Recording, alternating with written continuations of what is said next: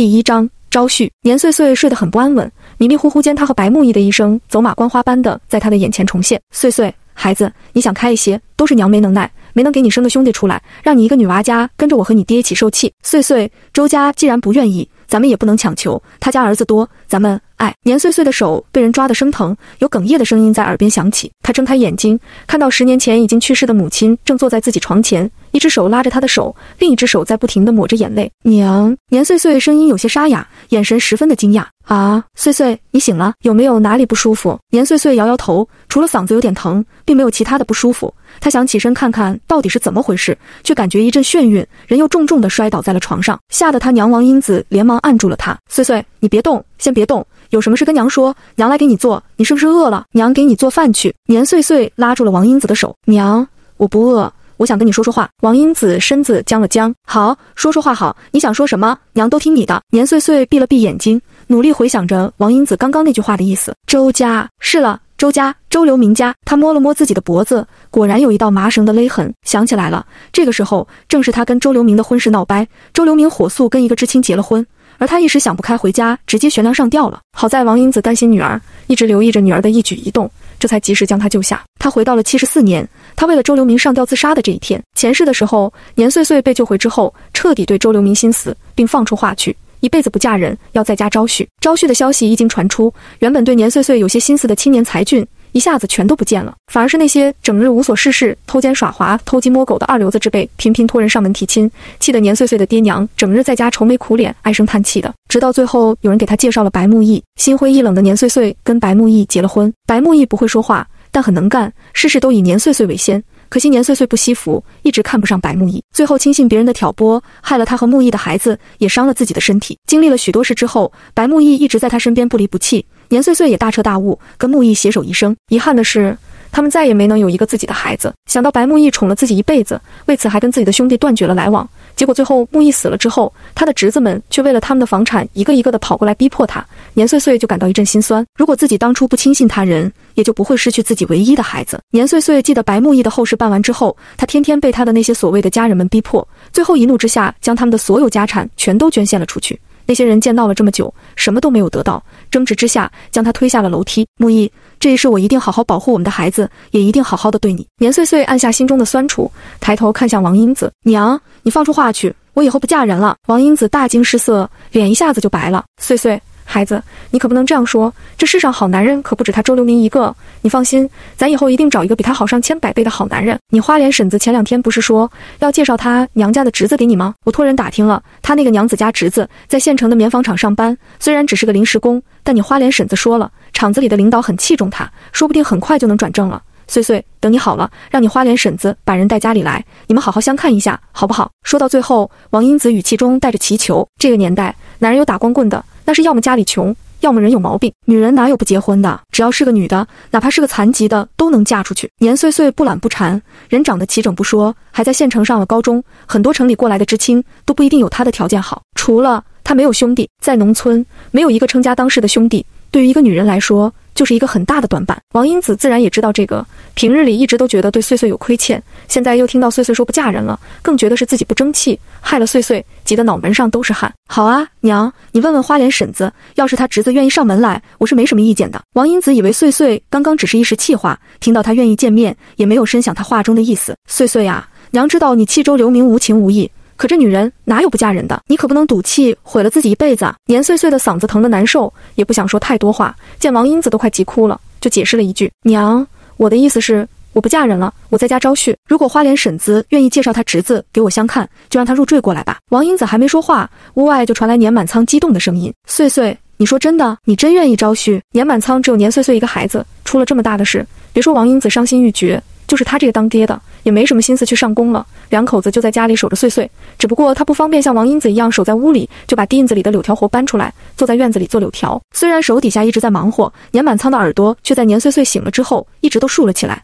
此时听到年岁岁说要在家招婿，年满仓激动之下差点把刚拿盐到一半的一个簸箕直接给弄报废了。年满仓心里一直都有招婿的想法，私下里也不是没有跟王英子说过招婿的事，只是他也知道有点出息的男人都不可能愿意入赘。如果招婿的话，肯定招不到处处都满意的人。第二章，但凡能娶到媳妇，谁会愿意入赘？年满仓夫妻俩都疼孩子，要不然也不会顶着村里的闲言碎语，让年岁岁一个女孩家去县城读书。原想着能在县城里找一个轻松点的工作，结果城里的知识分子都要到村里做农活了，年岁岁自然也回村里跟着一起劳动了。等年岁岁回村，看着女儿因下地劳作而日益粗糙的脸和手。年满仓又动了招婿的心思，只是还不等他跟年岁岁提，就得知了年岁岁跟同村周家的周流明处对象的事。年满仓想着，既然都是一个村子的，不招婿也没关系，反正女儿就在眼前，他们夫妻也能随时看着，不会让女儿吃亏受气。谁知道周家突然撒了什么疯，一言不合就直接另娶他人了，把年岁岁气得上吊，差点就没命了。年满仓想到女儿遭的罪。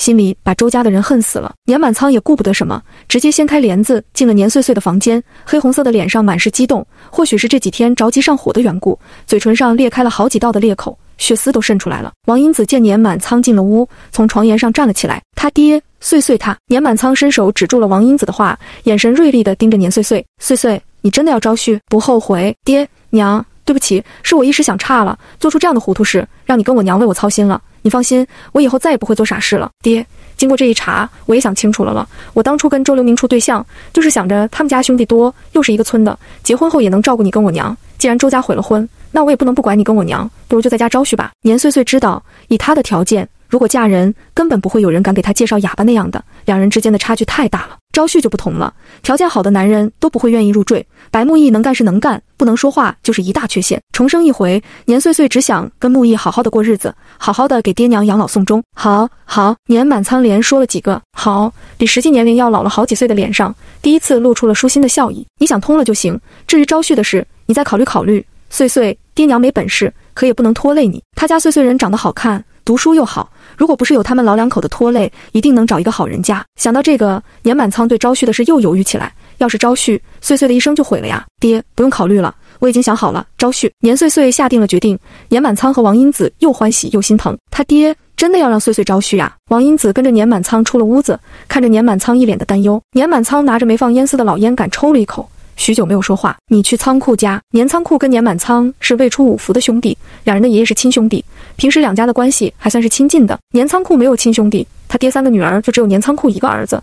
小时候年满仓作为老大哥，没少照顾年仓库。两人各自成家之后，关系也比别家亲近。媳妇刘花莲没有亲妯娌，平时跟王英子的关系很好。刘花莲嫁给年仓库之后，一连生了三个儿子，没有女儿，对年岁岁跟亲女儿一样疼爱。知道了周家做的缺的事之后，二话不说就要把自己条件最好的娘家侄子介绍给年岁岁。王英子来的时候，年仓库一家刚刚吃过晚饭，刘花莲正在那里骂小儿子年修文。见王英子过来，年修文像是终于遇到了救星。大伯娘，你可算是来了，我娘正说要去找你呢，你赶紧进屋跟我娘说说话。王英子尴尬的笑了笑。修文这是要去哪里呀？年修文摆了摆手，我出去随便转转。刘花莲脱了一只鞋砸向年修文，赶紧给我滚！看到你我就心烦。年修文把刘花莲的鞋踢到大门外。嬉皮笑脸的说道：“娘啊，我去外面待两天啊，你别想我呀。”刘花莲骂了一句，单脚跳着捡回鞋子穿上，这才拉着王英子进了屋。对于这个小儿子，他真是毫无办法了，让结婚也不结，让他上工，不是这疼就是那痒。一个大男人一天下来挣的工分还没有人家一个女人多，打也打了，骂也骂了，依旧我行我素。老大媳妇和老二媳妇两人虽然没说什么，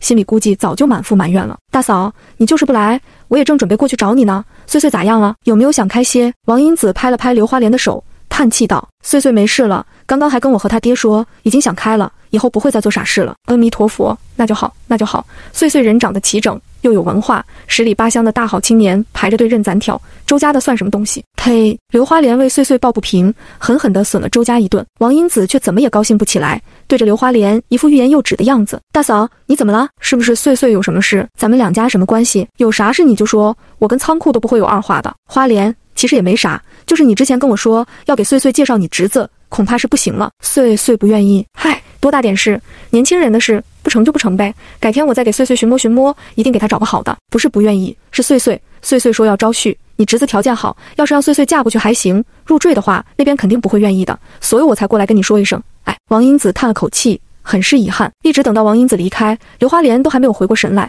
睡前，她忍不住跟仓库嘀咕：“你说，岁岁这么好的孩子，怎么这么想不开，想要招婿？那但凡好一点的，哪个男人愿意入赘啊？”仓库也觉得年岁岁这样好的姑娘招婿实在是太可惜了。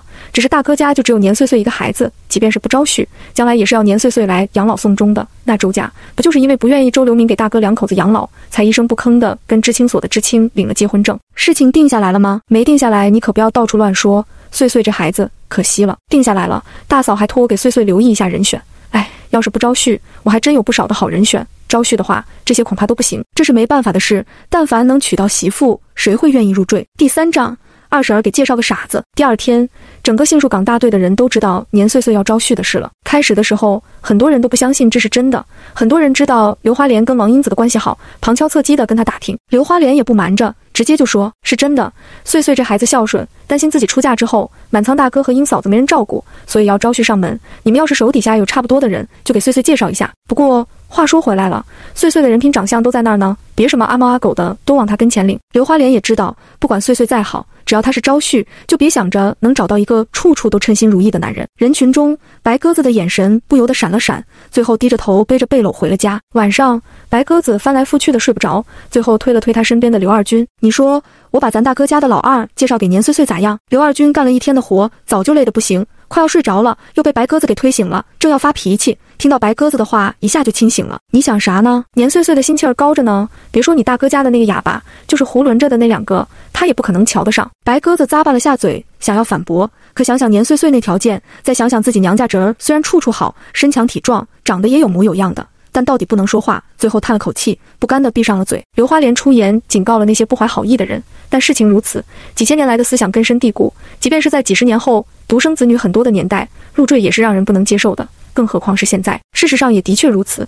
自从年岁岁要招婿的消息被证实了之后，没人再往他家里领的，都是一些上不得台面的人。滚，王巧儿，你给我滚出去！饶是王英子面团般的脾气，也忍不住气得红了眼睛。王巧儿笑眯眯地看着王英子发脾气。也不生气，大嫂，你看看你，看不上就看不上嘛，我这也是好心好意的带人来相看，你冲我发什么脾气吗？王巧儿嬉笑着拽着她带来的人出了门，到了门外立即松开了人，嫌弃的在胯上擦了擦手。王英子恨恨的啐了一口王巧，又看了一眼安静的屋内，眼泪一下就出来了。他爹，这都是些什么人啊？前天那个脸上那么大一个痦子，眼睛都快挡住了，我都不敢正眼看，他们也敢往咱岁岁跟前领。还有昨天那人，一看都不是个能成事儿的。说话流里流气的不说，看咱这岁岁口水都流出来了，眼神猥琐死了，我都恨不得扇他。今天更过分，别人羞辱岁岁也就罢了，王巧他是什么意思？亏他还是岁岁的七二婶儿，我们家平日里待他不薄，岁岁尊重他这个二婶儿，有什么好吃好玩的都不忘带给金山银山两个兄弟。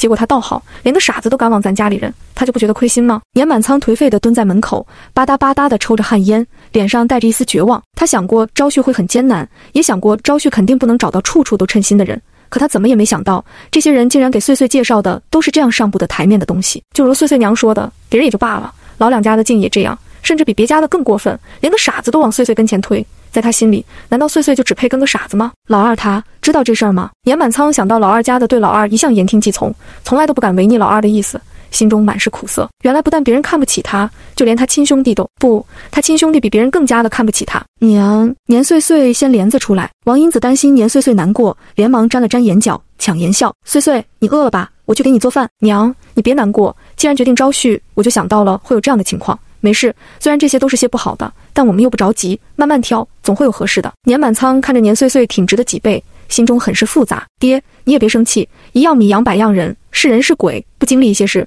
怎么能看清楚呢？年岁岁之所以这样说，是因为年满仓上一世的时候，就因为这件事一直觉得二叔看不起他，可他也不说，自己在心里生闷气，直到把自己气得大病了一场。年岁岁知道，在他决定招婿之前，年满仓其实一直存着让二叔家的金山银山给他养老的心思的。同样的，二叔二婶两口子对此也心知肚明的，他们甚至在年岁岁不在家的时候，偷偷丈量过他们家的宅基地，目的就是试探年满仓和王英子的态度。后来年满仓加起了三间砖瓦房，银山就曾指着他家的砖瓦房告诉别人。那是我将来娶媳妇的房子。年满仓夫妻俩虽然脸色不好看。却也没有反驳，算是默认了这件事。周家起初的时候，对年岁岁跟周流明两人的婚事一直是很积极的。直到他们知道年满仓家的三间砖瓦房是留给银山娶媳妇的，而年岁岁却要给年满仓两口子养老。年银山在年满仓两口子百年以后为他们摔老盆，继承年满仓家的三家砖瓦房。而周流明如果跟年岁岁结婚，不但要给年满仓两口子养老送终，到最后一点的好处都得不到。周家在知道这事之后，直接就让周流明跟知青点的一个对周流明有好感的女知青结了婚。年岁岁也是后来才知道。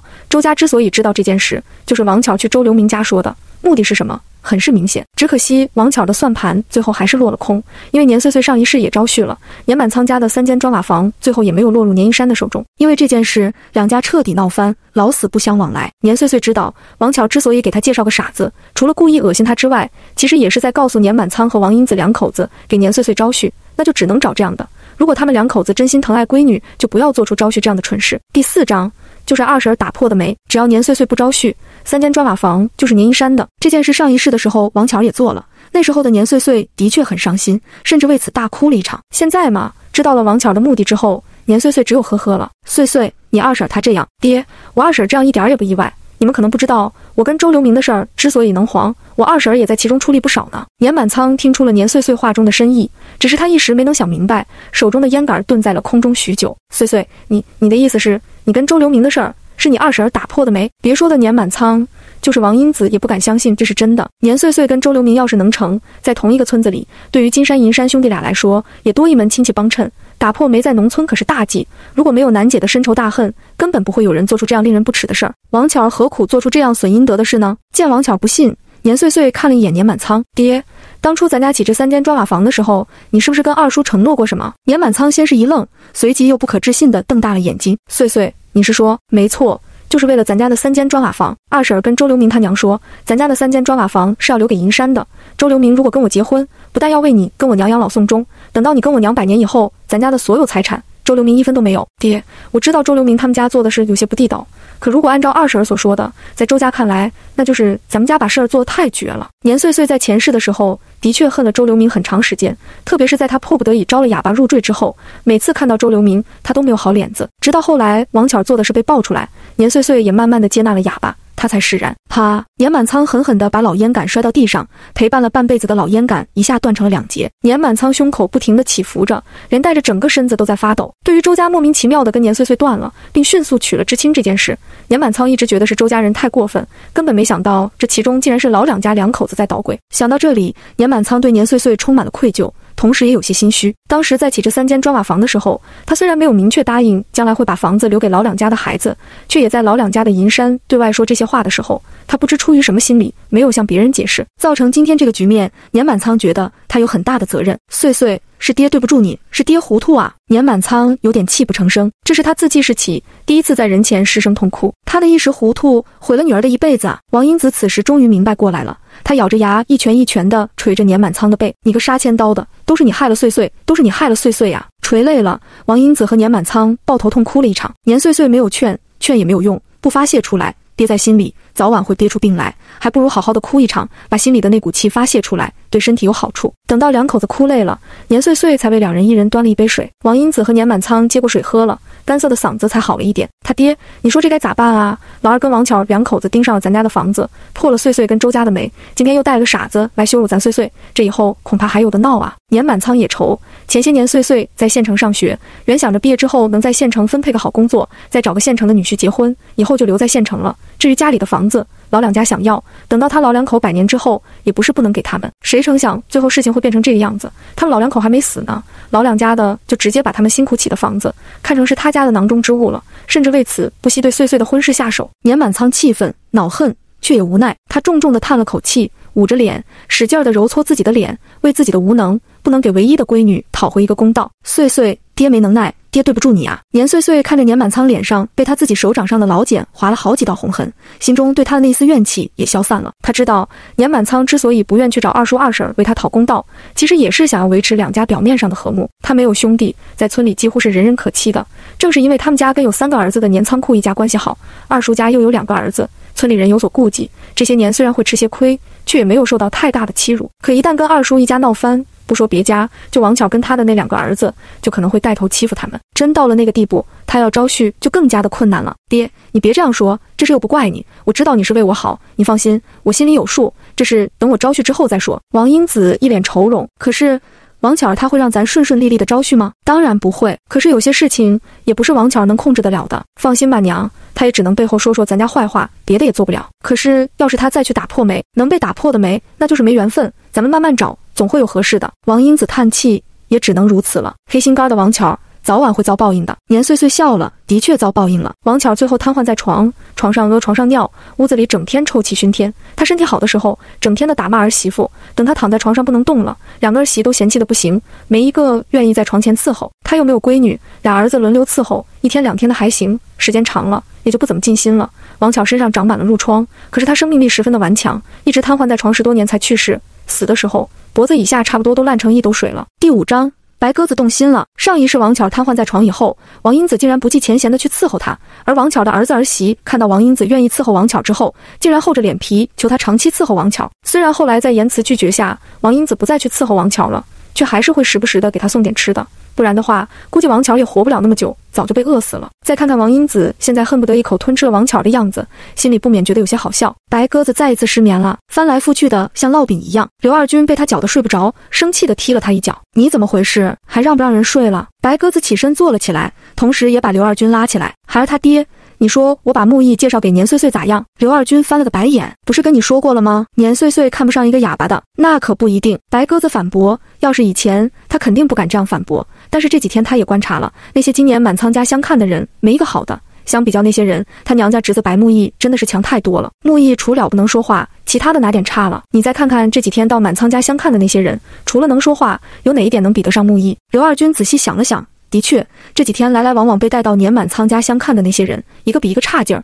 白木易除了不能说话之外，还真没有哪一样差的了。那些人，你这样一说，倒也有些道理。只是能行吗？别万一不成，再像那几家一样，跟满仓家结了仇啊！刘二军有些犹豫，主要是他听说有几家带去满仓家相看的人实在太不像样，被王英子给大扫帚撵了出来。白鸽子说的这是。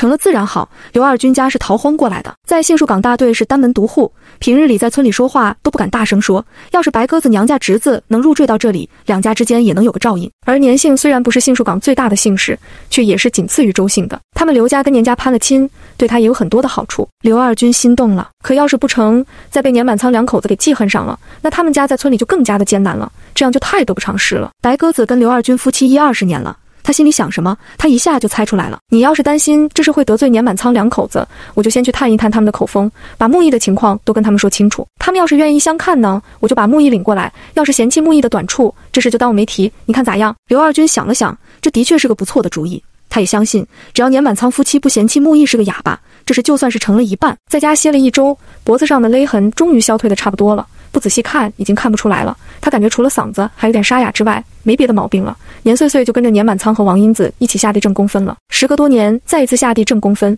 年岁岁感觉还挺新奇的。只可惜这新奇没维持多久，多年没干过农活的年岁岁很快就有点吃不消了。这个时候，他突然有点想念白木易了。虽然他不能说话，对他却是真的好。自从白木易过来他家里之后，就没有再让他干过农活。年岁岁想偷懒，可是看着一把年纪还在努力干活挣工分的爹娘，他只好又埋头继续挥舞锄头。晚上放工，年岁岁在回家的路上被人拦了下来，看到一脸纠结的周留明，年岁岁脸上很是平静。他知道周留明是因为王巧的挑拨才跟他黄了，他可以理解他做出那样的选择。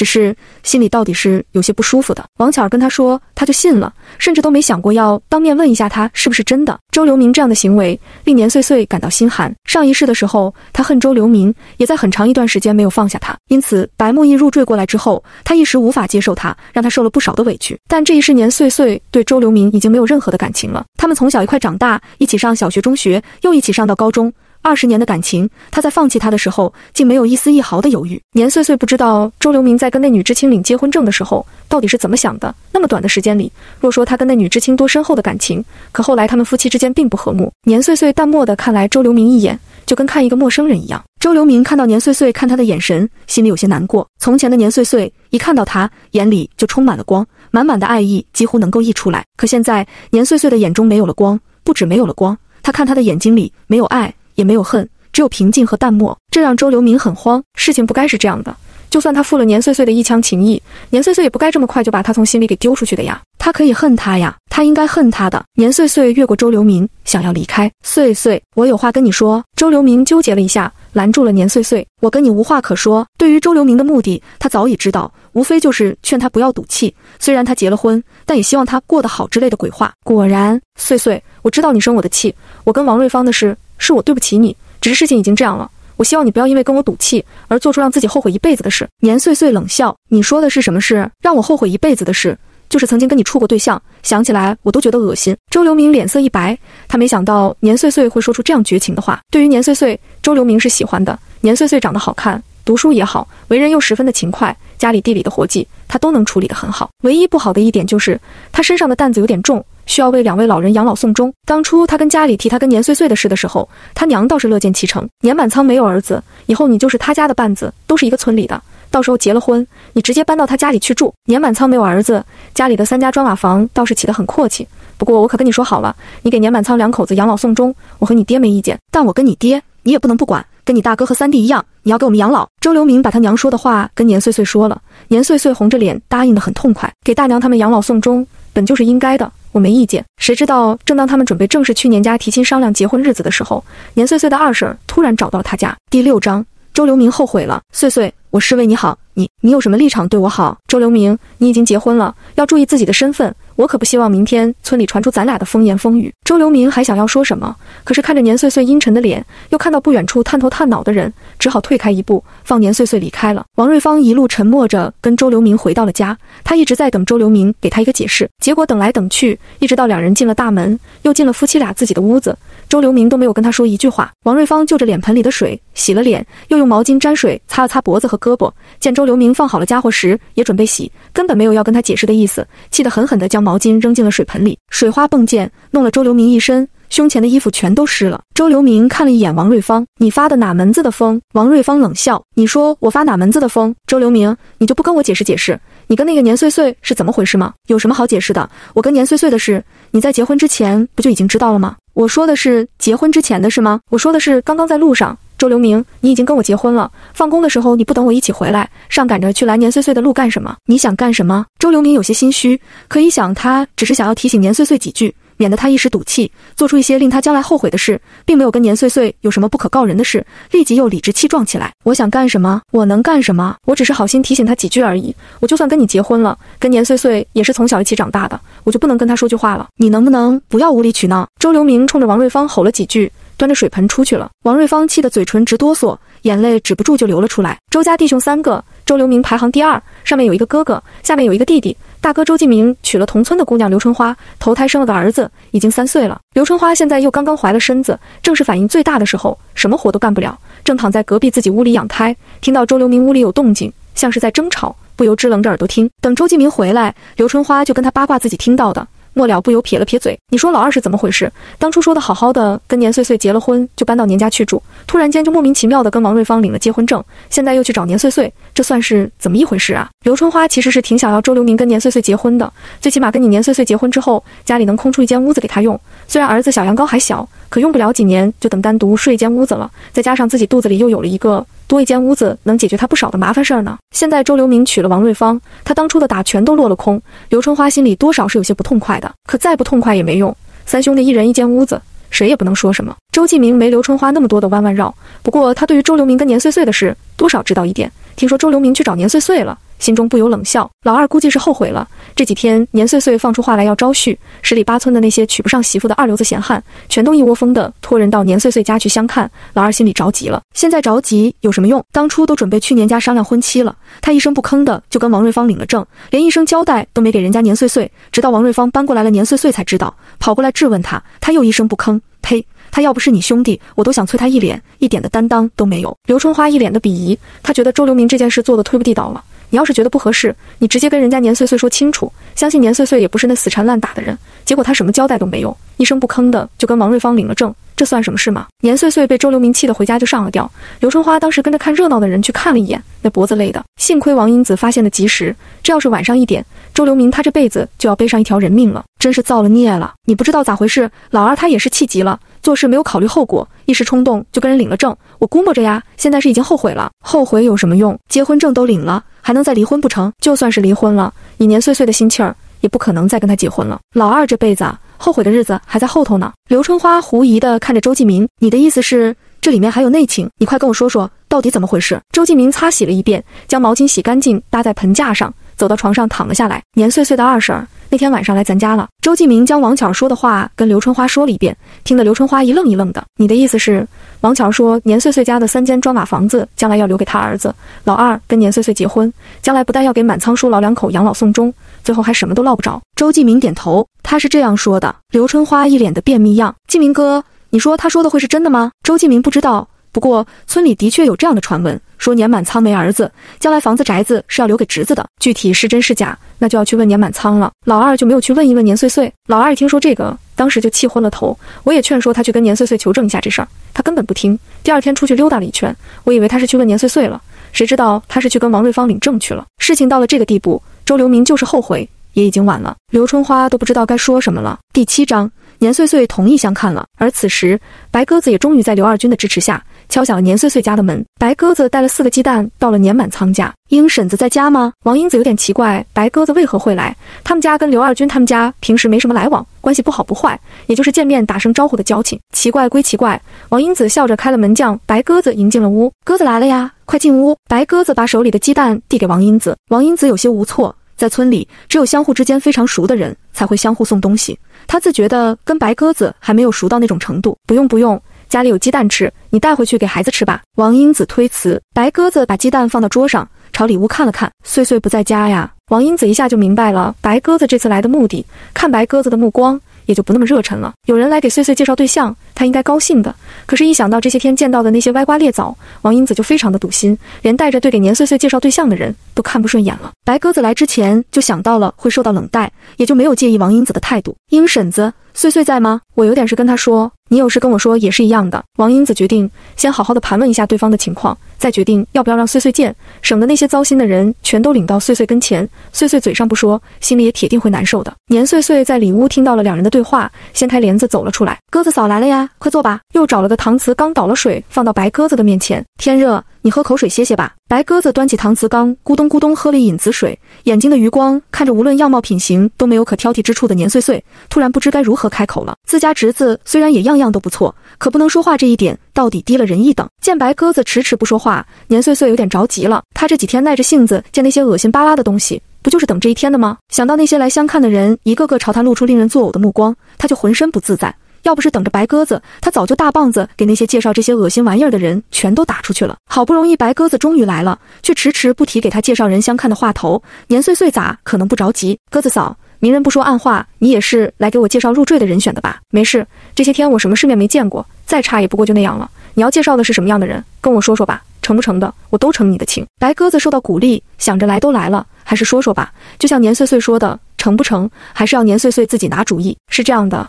我娘家大哥有三个儿子，老大和老三都已经结婚了。老二白木易以前也跟岁岁一样上过高中的人，长得是要模样有模样，要身材有身材，还有一把子力气。王英子撇了撇嘴，心想：真有这样的好，咋可能会入赘？年岁岁神色淡定地道：这样好的人不会愿意入赘吧？白鸽子脸上露出一丝尴尬，最后干脆伸头一刀，直接豁出去了。我还没有回去说，想来问题应该是不大，只不过我这娘家侄子也有点缺陷。王英子一听来了精神。果然了，要真像白鸽子说的那样十全十美，咋可能愿意入赘？什么缺陷？王英子怒视着白鸽子。要是白鸽子敢说的让他无法接受的缺陷，他一定要他好看。他看了一眼桌上的四个鸡蛋，嗯，到时候把这四个鸡蛋全都砸到白鸽子的头上，给他醒醒脑好了。白鸽子只觉得王英子看他的目光十分的森然，像是随时要跟他拼命似的。兄弟三人中，木易是最能干的，可惜了，三年前木易生了一场病，病好了之后，突然就不能说话了。婶子。岁岁，我也不欺瞒你们，木易他就这一个缺点，其他方面都非常好。你们要是愿意相看，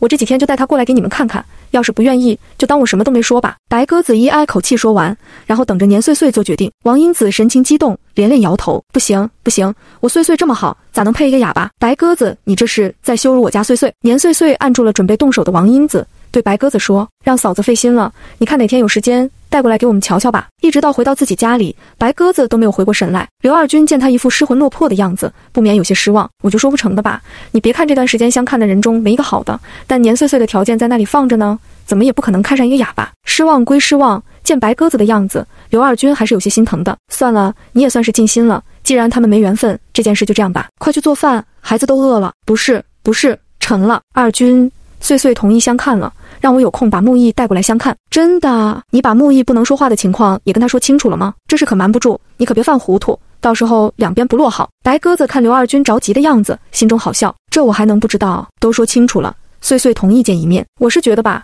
只要岁岁不介意，木易不能说话，这事儿铁定就能成。刘二军心里也是这么想的。不过不能让白鸽子太嘚瑟了。你明天就别去上工了，请一天假去白庙大队一趟，把这件事给他落实了。白鸽子却突然犹豫了，也不知道大哥大嫂能不能同意让木易入赘。刘二军撇了撇嘴。年岁岁那样要学问有学问，要模样有模样的黄花大闺女，白木易不过是一个哑巴。要是年岁岁真同意他入赘，他们白家就烧高香吧，还想咋地？第八章，给白木易介绍个寡妇。梨树岗大队白大根家，白丰收的媳妇麻秋带着儿子闺女从娘家回来了，一进门就大着嗓门喊：“娘，有好事儿！”白李氏正坐在院子里那鞋底，听到麻秋的大嗓门，翻了个白眼，淡定的用针尖挠了挠头，整天咋咋呼呼的。你就不能稳重一点，说清楚啥好事儿？麻秋让俩孩子自己去一边玩，拿个小马扎凑到百里氏的跟前，小声道：“娘，这次我回去我娘家，听我娘说，我们那儿有个女的很适合老二，我就去打听了一下。”百里氏拿针的手一顿，就有些心动。二儿子白木易的婚事可是他跟老头子的心病，比木易小了两岁的老三都已经结婚生子了。木易的婚事还没有着落，因为木易在三年前生了一场病，病好之后嗓子却坏了，成了个说不了话的哑巴，所以一直说不上亲事。倒也不是没有托媒婆让相看，只是那些好一点的人家一听说是哑巴就不乐意了，更多的是给相看的不是寡妇带孩子的，就是女方身体有残缺的瞎子、瘸子。甚至还有人给介绍了个流着口水的傻子，就这彩礼还高得吓人。百里氏倒是无所谓，只是白木易宁愿打光棍，也不愿意将就这些，所以就这样耽搁下来了。眼看着马上就二十四五了，老大家的孩子都已经七岁了，木易还是没结婚。百里氏中指上的顶针用了下力，然后把针从鞋底上拔了出来，问条件咋样？二十八岁，比老二大三岁，是个寡妇，带着俩儿子。一听这个，百里氏脸色就淡了下来，瞥了麻秋一眼。那不成？麻秋说道：“娘。”你也别怪我没给老二找个好的。老二这条件你也知道，他要不是哑巴，给他找个天仙也配得上。可是谁让老二他是个哑巴呢？那倒是有好一点的姑娘愿意的，彩礼高的吓死个人，一千块。娘，咱们家不吃不喝也拿不出那么多钱啊。百里氏固然觉得自己儿子哪哪都不差，只不能说话这一个缺点，但现在的确是拖不起了。眼看着就二十四五了，再耽搁下去，可真成老光棍了。只是咱家这房子。住不下那么多人，其实挤挤倒也不是不可以，只是带两个儿子过来吃白饭，多少让百里氏心里有点不舒服。麻秋的双手猛地一拍，兴奋地说道：“这个更没问题了，娘，你不知道，那女的说了，不来咱们家，让老二去她家，不需要彩礼，只要老二人过去就行，招抚养子。”麻秋缩了缩脖子，那女的的确是这样说的，她两个儿子还小。丈夫没了之后，婆家又不管他们孤儿寡母，一个女人又要带孩子，又要挣工分，到年底分的粮食根本不够母子三个一年的口粮，这才起了招夫养子的心思。说实话，那女人长得是真好看。招夫养子的消息放出去以后，有不少的人争抢着要上门，只是那女人也不是什么人都愿意要的。麻秋之所以赶回来提这个，也是觉得相比之前小叔子相看的那些女人，这个是最好看的。小叔子虽然嘴上不说，其实看得出来，他也是个爱俏的。之前相看的那些，要么太老，要么太丑。也难怪他看不上这个就不一样了，人长得好看，虽然生了俩儿子了，身材保持的也非常好，小叔子应该能看得上。而白木易除了不能说话，其他的也没毛病，脸好看，身形高大，干活也非常的卖力。那女人见了之后，估计也会十分乐意的。娘，那女人长得好，老二肯定喜欢。给别人养儿子那不行。百里是拒绝的很干脆。麻秋就有些急了，如果这事成了，家里的地方就宽敞不少，公婆和老二还要对他感恩戴德，这样的好事怎么能不行呢？娘。我觉得还是让老二去相看一下吧，说不定就看上眼了呢。总不能让老二一辈子打光棍吧？百里是抿了抿唇，没有说话。白鸽子借了大队长家的自行车，吃过早饭就出发。他骑车不太行，一路骑得很慢，一看到路上有人，就赶紧下车推着走。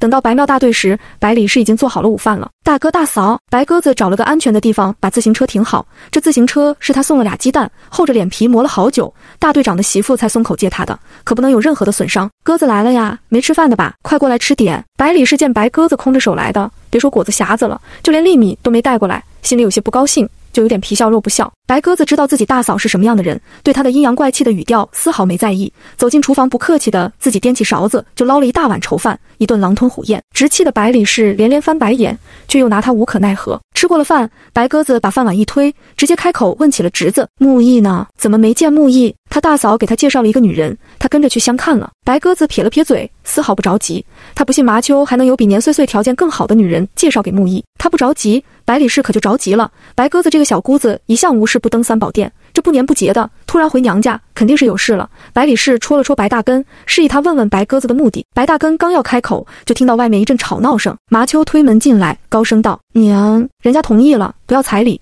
只要老二人过去就行。”啧啧。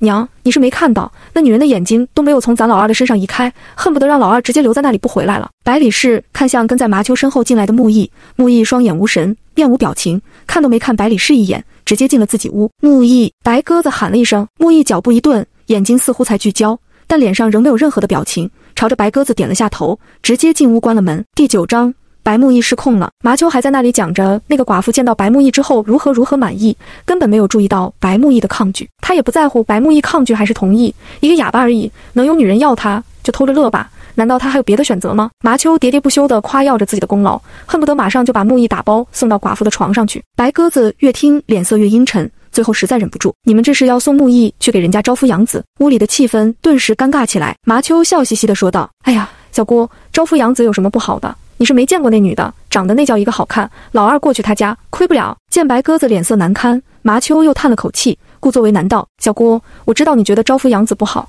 可是老二这条件，真是那四角俱全的黄花大闺女，谁愿意嫁给他呀？”白鸽子怒道：“那就去入赘，总比招夫养子强吧？那是别人家的孩子，累死累活一辈子，说不定把孩子养大了，木易也老了，人家看他没什么用，直接就给他轰出来了。这样的例子又不是没有，你们就忍心看他晚年凄凉？”麻秋有点不服气：“小姑。”你说的倒好，入赘，人家入赘的也想找个四角俱全的呢。再说了，也不是所有的招夫养子都晚景凄凉，孩子才一两岁，好好的教，以后肯定跟老二亲。实在不行，等那俩孩子大了，让那女的再给老二生一个就是了，又不是不能生了。白鸽子看向白大根和白李氏，大哥大嫂，你们就这样看着他糟践木易。白大根和白李氏夫妻脸色不好看。却也没有反驳麻秋，显然心里也是赞同麻秋说的话。难怪白木易回来之后一言不发，连看都不看爹娘一眼。想来这样的事情肯定没少发生。现在对于整个家里来说，白木易成了一个拖累，所有人都恨不得赶紧把他扔出去。只要有人愿意接受，不管是什么样的人，他们都觉得只要有人要白木易，白木易这个哑巴就该感恩戴德了。白鸽子突然同情起木易这个侄子来，以前没有哑的时候，多活泼好动的一个人，见了他这个姑姑。嘴甜的跟抹了蜜一样，常常逗得他心花怒放。现在呢，整个人都死气沉沉的，没有一点的生机。白鸽子深吸了口气，强压住自己的怒火：“大哥大嫂，既然你们连招夫养子这样的都能接受，那我也给木易介绍一个。我说说条件，你们看看行不行？要是没意见的话，就让木易跟我一起去相看。”白大根和白李氏相互看了一眼，都从对方的眼睛里看出了自己松一口气。你说说，西侧白木易的房间里，白木易也屏住呼吸，竖起了耳朵。姑娘今年才二十二岁。比木易小了三岁，人长得在咱们十里八村那是出了名的好看，还是个高中生。白木易的呼吸急促了起来。姑姑说的怎么那么像他心中曾经肖想过的那个人？他感觉自己的心都快要跳到嗓子眼了。会是他吗？他默默地想，可很快就变得沮丧起来。怎么可能呢？那么好的姑娘，当初她好好的时候都只敢在心中想想，更何况她现在？白木易摸了摸自己的嗓子，手不知不觉就用了力。等发现时，脖子上已经留下了一块青紫。他好恨，什么叫四角俱全？这样的就是白鸽子说着，不屑地看着麻秋。麻秋缩了缩脖子。如果人真的如姑姑说的那么好，他还真的没话说。只是他咋觉得不可能呢？小姑，要照你说的那么好，人家什么样的人找不着？为啥要找老二这样的？是啊，为啥要找老二这样的？白木易神色黯然，手不自觉地捂住了胸口。白鸽子看了一眼白木易紧闭的房门，深吸一口气。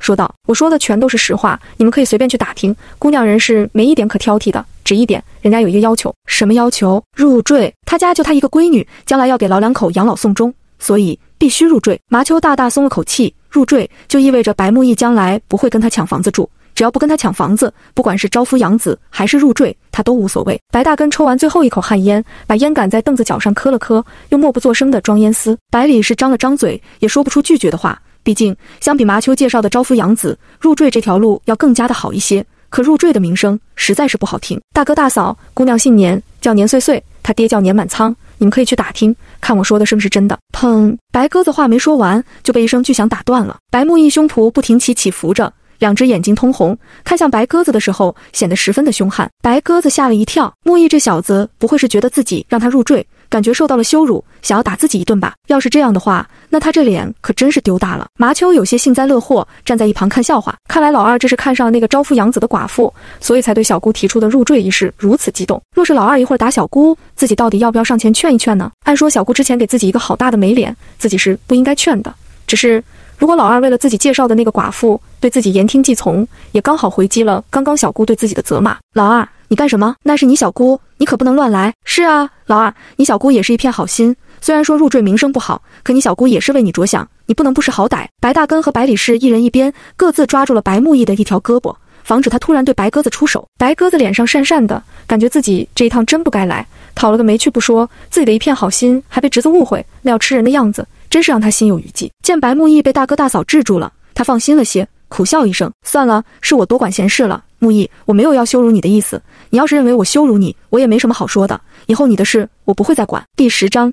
白木易去年家乡看，眼看着白鸽子已经推上自行车准备离开，白木易急得脸色通红，脖子上的青筋都爆出来了。他想要去阻止白鸽子离开，力气前所未有的大，白大根和白李氏两个人都拉不住他。啊啊！白木易叫得撕心裂肺。可惜发不出一个完整的音，白鸽子心里恼极了，自己好心被当成了驴肝肺不说，侄子还一门心思的想要打他。他一跺脚，把村长家借来的自行车往地上一摔，三步并作两步走到白木易的跟前：“大哥大嫂，你们放开他，我倒要看看他要把我怎么样。”白大根和白李氏被白鸽子的气势给镇住了，竟真的松开了手。麻秋的眼神闪了闪，带着看好戏的心思，暴毙站在房门口，想着如果一会儿打起来，他就直接关门进屋，这样就不会被殃及到无伤了。身体一恢复自由，白木易就迫不及待地抓住了白鸽子的胳膊，在白大根和白李氏还没有反应过来之前，就将人拽进了自己的屋里。砰！房门再次关上，白鸽子的心不由得跳得急促了几分。木易，你真敢打我？我可是你小姑。白鸽有些害怕，眼前的侄子是他从未见过的模样。在白鸽子的印象中，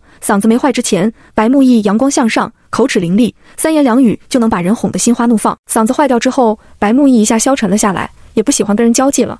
整天除了上工，大多数的时间就是把自己关在屋子里。可不管是嗓子坏掉之前，还是嗓子坏掉之后，白木易都没有像今天这样激动。白鸽子自认为自己给他介绍的年岁岁，无论是从哪方面来说，都要比那个招夫养子的寡妇要强多了。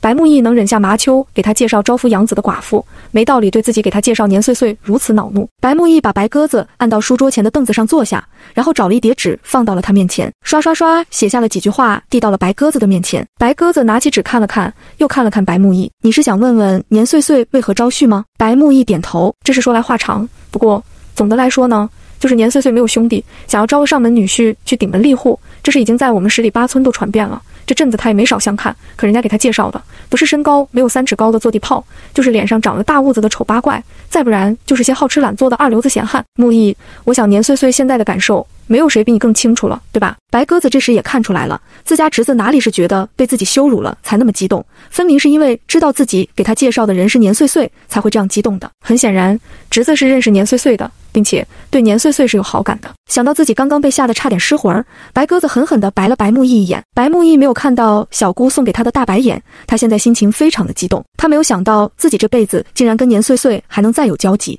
而且是以这样的方式。自从听到年岁岁的名字开始，他的心就一直扑通扑通，像是随时都会从他的胸腔里跳出来，根本不受他的控制。年岁岁呀，那个时常会出现在他的梦中，每次醒来都让他感到呼吸困难的女孩。他跟姓周的那人分开了吗？那人辜负了他。想到他被人欺负，白木易的心又是一阵刺痛。木易，你愿不愿意去跟年岁岁相看？要是愿意，咱们现在就走。要是不愿意，我也得赶紧回去了。白鸽子站起来，时间不早了，他要回去了。还有村长家的自行车，不知道有没有摔坏。要是摔坏的话，不仅要给人家修，以后再想借都不能了。白木易噌的一下站了起来，用手势比划着让白鸽子等一等他。白鸽子等了约半个小时，白木易才重新出来，不仅重新梳洗了一番，还换了一身十分得体的衣裳。白大根和白李氏两人脸上全是震惊之色。刚刚白鸽子出来的时候，跟他们说白木易同意去相看了。若真相看成了，就要入赘，让他们心里有个准备。不就是入赘吗？有什么好准备的？可看着白木易如此精心打扮，显然是很满意白鸽子介绍的那个姑娘的。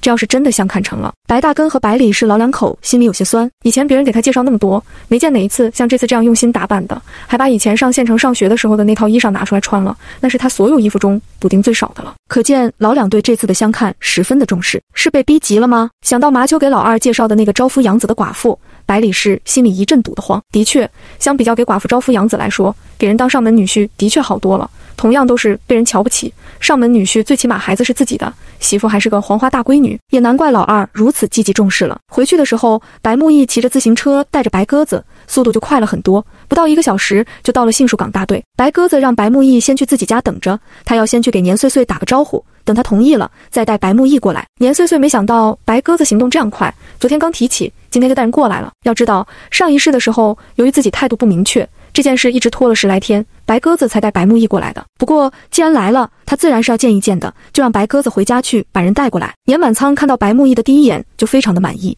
唇角不由得露出一丝笑意。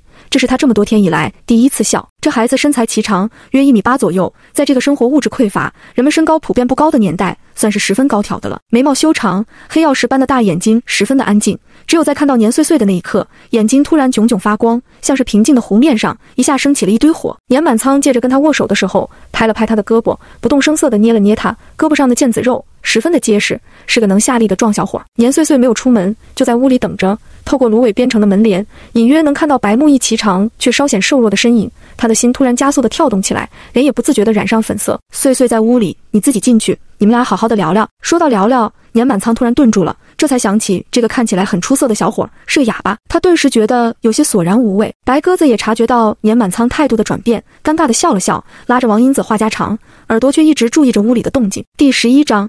这俩孩子还真是绝配。白木易掀开帘子，一眼就看到自己心心念念的那个人，笑盈盈地站在那里。他看上去比自己梦里更加的好看，或许是自己记忆中的他，还是他生涩的样子。现在的他已经成熟。你来了，这边坐吧。年岁岁把白木易让到自己对面坐下，白木易就发现自己的面前放着一叠纸和一支笔。我看不懂手势，听鸽子嫂说你读过高中，就准备了纸笔。你想说什么，可以写出来。白木易突然感觉眼睛有点发胀。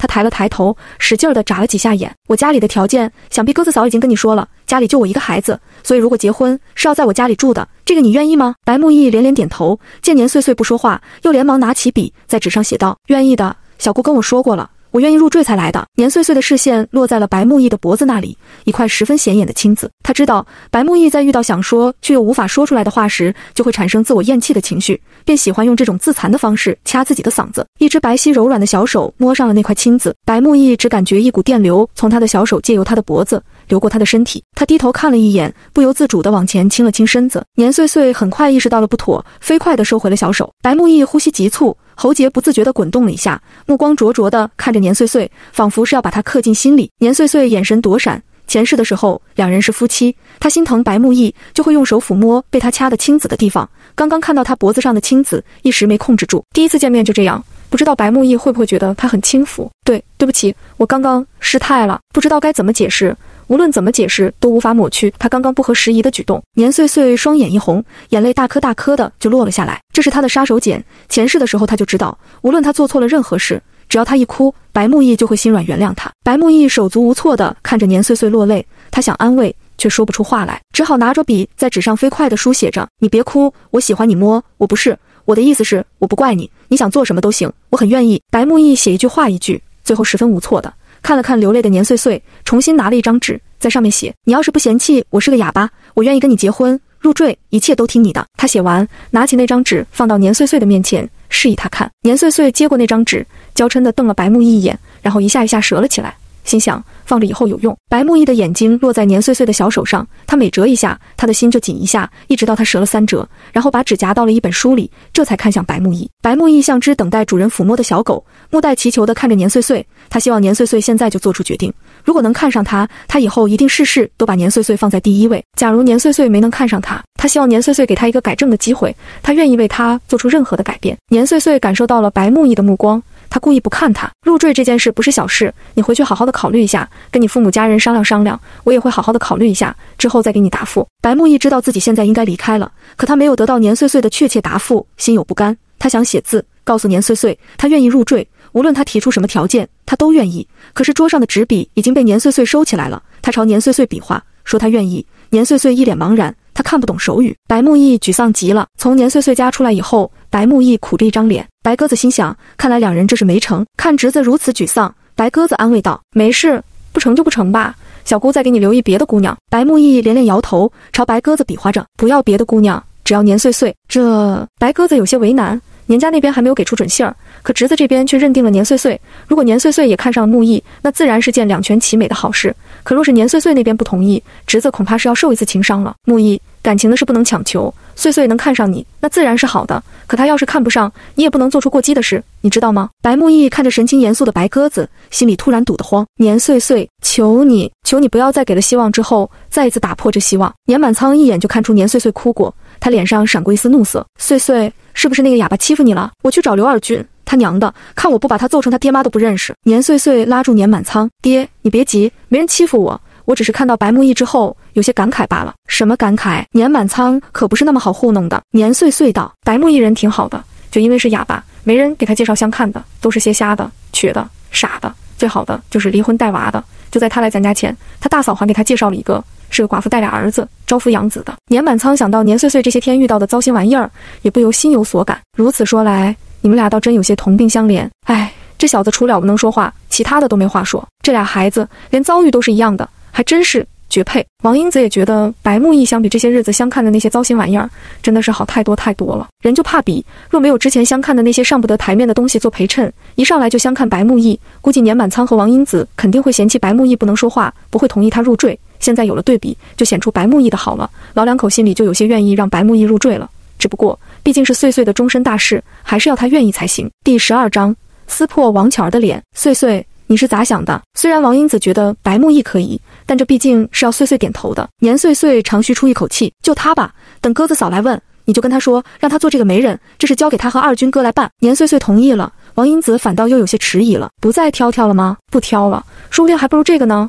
最起码人长得还算赏心悦目，不能说话就不能说话吧。过了一会儿，白鸽子果然拐了回来，询问年岁岁的意见。王英子就说岁岁同意了。年满仓道，这件事就劳烦你跟二军多费心。等岁岁结婚之后，给你送条大红鱼。大红鱼就是大鲤鱼，鳞片上带点红的大鲤鱼是最常用的谢美丽。白鸽子喜滋滋的走了，总算不是侄子自己单相思，他要赶紧回去给木易说说，如果年岁岁跟白木易的婚事真的成了，到时候就该是白木易这个娘家侄儿给他买大鲤鱼了。白鸽子走得匆忙，冷不防就跟一个人撞了满怀哟。二军家的，你这匆匆忙忙的赶着干啥去呀？白鸽子从前不知道王巧跟年岁岁两家的局语，这次跟王英子聊天时，王英子担心王巧再次故技重施，给年岁岁搞破坏，就把王巧做的事跟白鸽子说了。白鸽子这才知道，王巧表面上笑呵呵的，背地里竟然那么龌龊。此时见王巧故意搭讪，便有些皮笑肉不笑。是巧婶儿啊，我这不是刚从岁岁家出来吗？王巧心里立即警惕起来，眼神闪了闪，拉着白鸽子的手，叹气道：“哎。”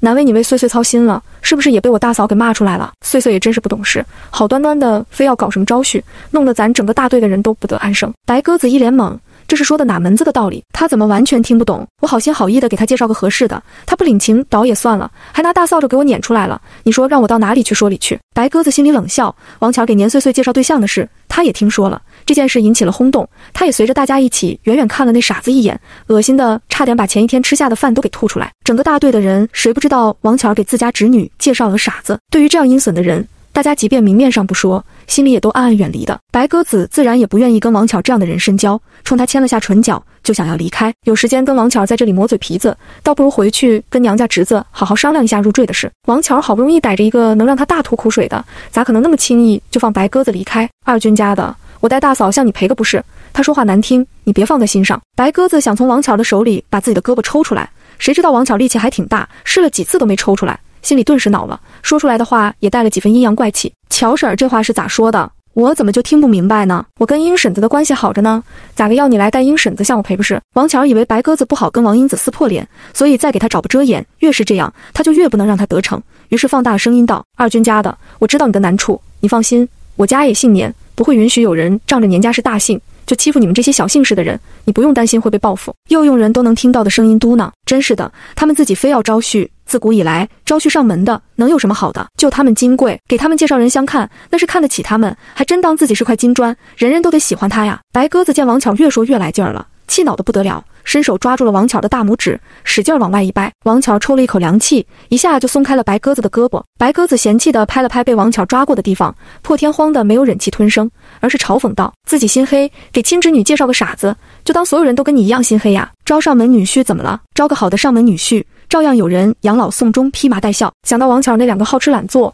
整日无所事事的儿子，他还想再说一句：“有儿子怎么了？养子不教，将来儿子不孝，一样不得善终。”可这话要是说出来，打击面太大，他们家毕竟是单门独户，弄不好会给家里惹来大麻烦。最后把这道唇边的话又吞进了肚子里，只是一脸鄙夷地看着王巧。王巧跟白鸽子拉拉扯扯的画面引来了不少人的围观，这也是王巧故意为之的。他就是要让所有人都知道，给年岁岁介绍对象不但不会得到感激，反倒会落得个里外不是人，从而彻底断了年岁岁招婿的路。只是事情的发展跟王巧预想的完全不一样。看着围观的人看向他时露出的鄙夷的目光。他有些慌了神，伸手就要去打白鸽子。你个小贱蹄子，你敢骂我？看我不撕烂你的嘴！白鸽子虽然因为刘二军是杏树岗大队的单门独户，平时能不多事就不多事，但这并不代表他是一个懦弱的人。恰恰相反，白鸽子在娘家的时候，那也是一个的理不饶人的。也就是杏树岗大队的人平时相处起来也没什么太大的矛盾。一些小摩擦，白鸽子在刘二军的安抚下能忍就忍了，所以白鸽子这么多年一直没有机会展现自己泼辣的另一面。现在王巧就给了他这样一个机会。呸！你个黑心干烂肠肚的烂货，叫你一声婶子，你还真把自己当个长辈了？惦记着吃大伯哥家的绝户，给自己侄女打破媒，又黑心肝的介绍个傻子去恶心人。王巧，你这样脚底生疮、头顶流脓、拿屁股当脸的东西，你算哪门子的长辈？这是白鸽子第一次大发脾气，在公众场合骂人。村里围观的群众一下兴奋了，有好事儿的听出了白鸽子骂王巧的话，立即联想到王巧给年岁岁介绍个傻子的事。这件事，王巧的确是做的不地道。这些天村里人也没少议论，基本都是一致认定王巧作为年岁岁的亲婶子，用一个傻子去羞辱侄女，是一件非常没下限的事。王巧这几天出门，村里人看她的目光都带着鄙夷。只是给侄女打破媒是怎么回事？第十三章，声名狼藉的王巧鸽子，乔婶儿给谁打破媒了呀？是啊，这可不是小事儿，你说不清楚，可不能给人乱扣帽子。打破媒可是村里的大忌，没有生死难解的大仇，就算是两家有恩怨，打得不可开交，也不能去给对方打破媒。对于给人打破媒的人，那是人人见了都要朝他吐唾沫的。这些围观的人也都想知道，王巧是不是真的给人打破媒了？鸽子，你快说说，你知道什么？可不能上下嘴皮子一碰就污蔑人打破媒呀！白鸽子跟王英子聊天的时候，从王英子嘴里知道了王巧干的好事儿，心中很是不屑王巧的为人。再加上年岁岁马上就要成了自己侄媳妇了，他的心自然是偏到了年岁岁这边，对王巧更是看不惯了。原本王巧要是不主动招惹白鸽子，白鸽子也就是在心里鄙视一下王巧罢了。可王巧自己犯贱，竟主动拦住白鸽子，还在那里颠倒是非的往年岁岁一家身上泼脏水。白鸽子早就忍不住了，被人一激，他冷笑一声：“我呸！王巧儿，要不要我给大家宣传宣传你做的那些龌龊事儿啊？”王巧个子不高，有一米五左右，身材瘦小，整个人看上去黑瘦黑瘦的。他平时很爱笑，给人一种皮笑肉不笑的感觉。但如果不笑的时候，看上去十分的阴郁，一看就不是什么良善之，跟白鸽子那块一米七的大个子形成了鲜明的对比。再加上白鸽子人长得白净。两只大眼睛居高临下的盯着王巧，白鸽子，你个浪荡货，有你神妖事儿啊？我做什么龌龊事了？我不就是好心好意的给碎碎介绍个对象吗？我做错什么了？怎么就成了里外不是人了？王巧大嘴一张，拍着大腿就开始哭起来。我的天爷啊！你睁开眼看看吧，我还怎么活呀？好心当成驴肝肺，我好心好意给他介绍对象，他怎么能对外人那么编排我呀？我不活了！这种说不过就哭天喊地的勾当，在农村很是常见，多用于没理的时候，用来无理取闹，特别适用于婆婆对年轻脸皮薄的儿媳妇。最近也有些村妇开始对知青所的知青展开推广。那些小媳妇脸皮薄，知青大多有文化有素养，要么不敢，要么不屑跟这些没脸没皮的泼皮妇下场撕逼，只能乖乖认怂。白鸽子既不是小媳妇，也不是知青。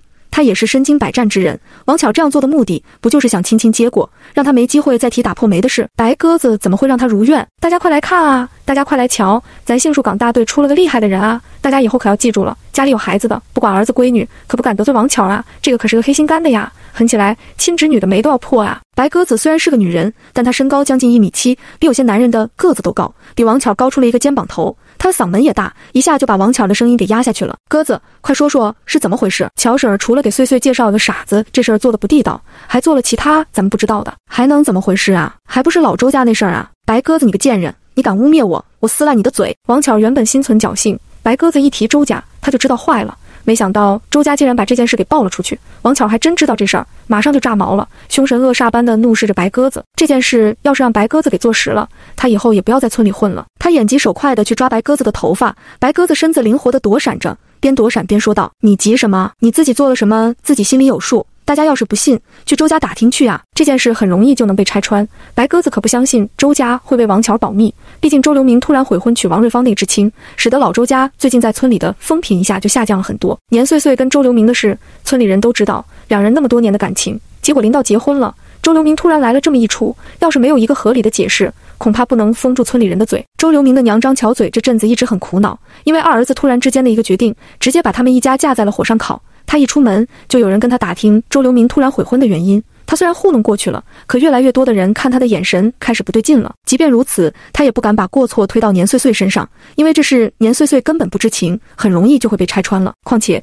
年岁岁家虽然只有他一个闺女，但年家可是杏树岗大队的一个大姓，相互之间都沾点亲。他要真污蔑年岁岁，年氏一族肯定不会放任不管的。如今白鸽子给了周家一个完美的解释，张巧嘴顿时眼睛一亮，只要把责任推到王巧身上，那一切就迎刃而解了。果然，一听说周家，村里人一下就想到了年岁岁和周留明之间的事。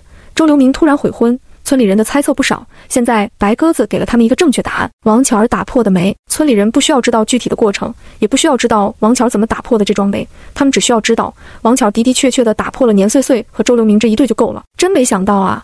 我说周流明为啥突然就跟年岁岁掰了？原来竟是王巧这个毒妇给拆散了呀！真是作孽啊！还没有娶周家正时，人们就已经相信了白鸽子的话。一来是白鸽子不是那些喜欢挑事的人，再一个就是王巧的态度令人不得不怀疑。我滴个天爷！这还是岁岁的亲婶子，你说他到底图个啥呀？能图啥？满仓家有啥让他图的？有自诩聪明的人一脸深意地说：“村里的人很多没读过书，但这并不代表这些人都是傻的。”很快就有人想到了年满仓家的那三间砖瓦房，以及那一大片的宅基地。我记得前年的时候，公良家的二小子曾向我家那老大吹嘘，说满仓家的那三间砖瓦房是给他盖的。我也想起来，当时我家小儿子就在场。这下王巧儿图的啥？很快就在村民当中传开了。众人在看王巧儿，眼神中的鄙夷就很明显了。年公良真他娘的不是个东西，自己在屋里头当缩头乌龟，戳着他媳妇当出头鸟，到处搞坏，可不是整天一副老实和善样。没想到是个蔫坏的，真是个没种的混蛋。第十四章，刘花莲不同意。原本有几个不了解情况年事的族人，见白鸽子跟王巧起了冲突，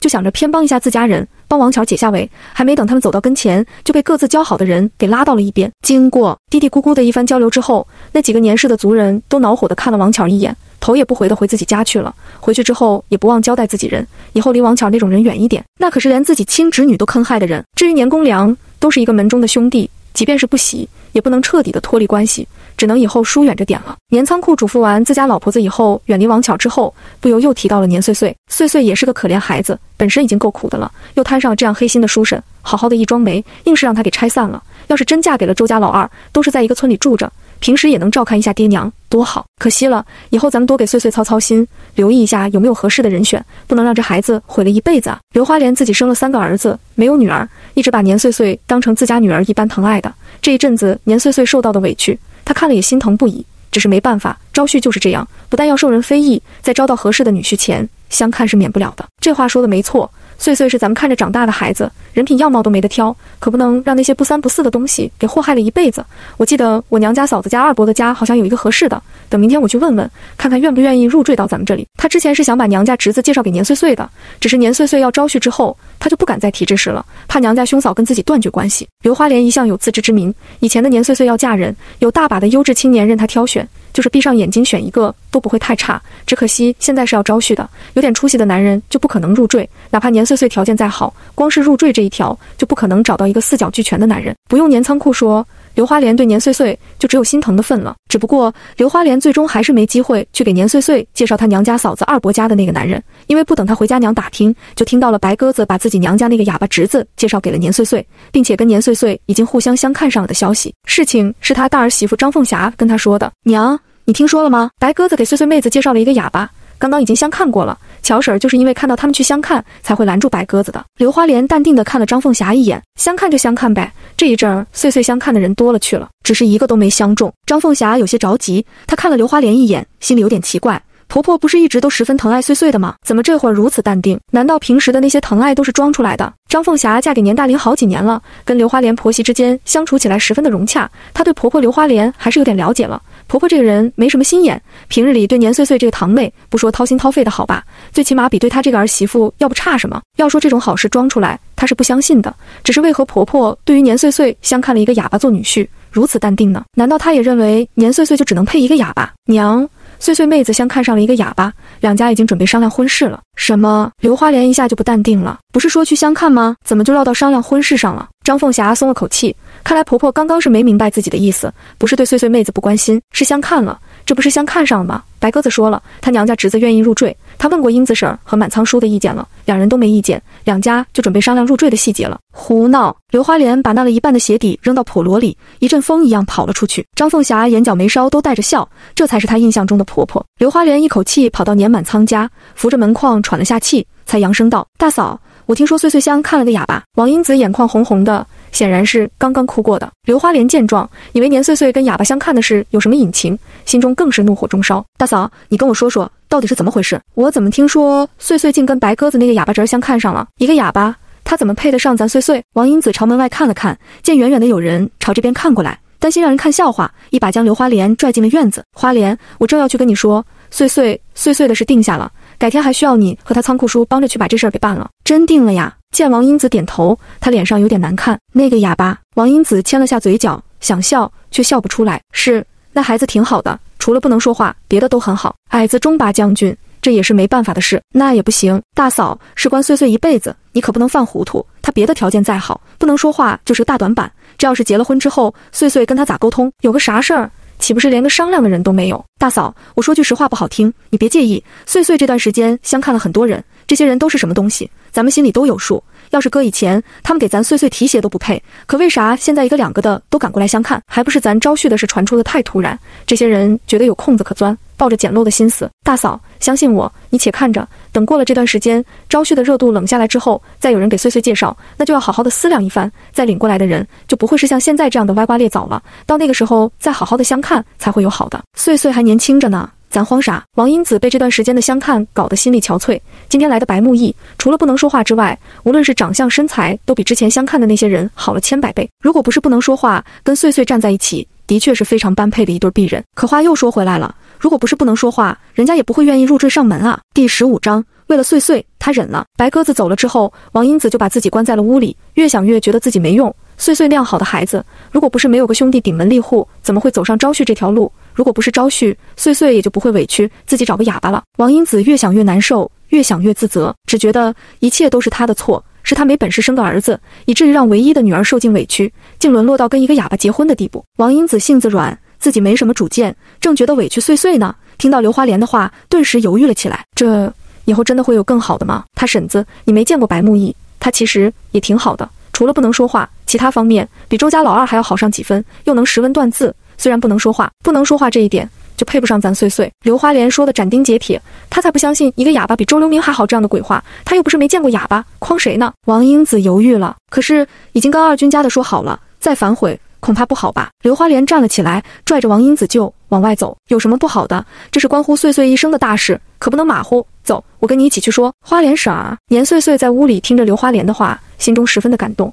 只是他却不能真的让刘花莲去找白鸽子。岁岁，你在家呢？你放心，婶儿心里有数，一定不会让你受委屈的。那个哑巴配不上你，我这就去跟白鸽子说清楚。你安心在家等着，等过段时间，婶儿再好好的给你挑一挑，一定给你挑个好的。婶儿，谢谢你。年岁岁突然抱住了刘花莲，眼睛有些湿润。刘花莲性子直爽，大大咧咧的，突然被年岁岁抱住，身子不由得僵硬了一下，感受到年岁岁的依恋。他咧开嘴笑得很开心，更觉得这些年对岁岁的疼爱没有白瞎。岁岁乖，别害怕，一切有婶儿呢。年岁岁抽了抽鼻子，一脸认真地看着刘花莲的眼睛。婶儿，别去了，白木易挺好的，人长得好，个子也高挑，虽然不会说话，可他会写字，有什么话可以写下来，我觉得还不错。婶儿，我们会好好的。刘花莲激动的情绪已经被年岁岁安抚住，又听年岁岁如此温声细语的他说话，别说是让他不要去找白鸽子，就是让他去立刻去提亲。他也不会拒绝，好好，婶儿不去就是。说到这里，刘花莲叹了口气，有点心疼的摸了摸年岁岁的头发。可是岁岁，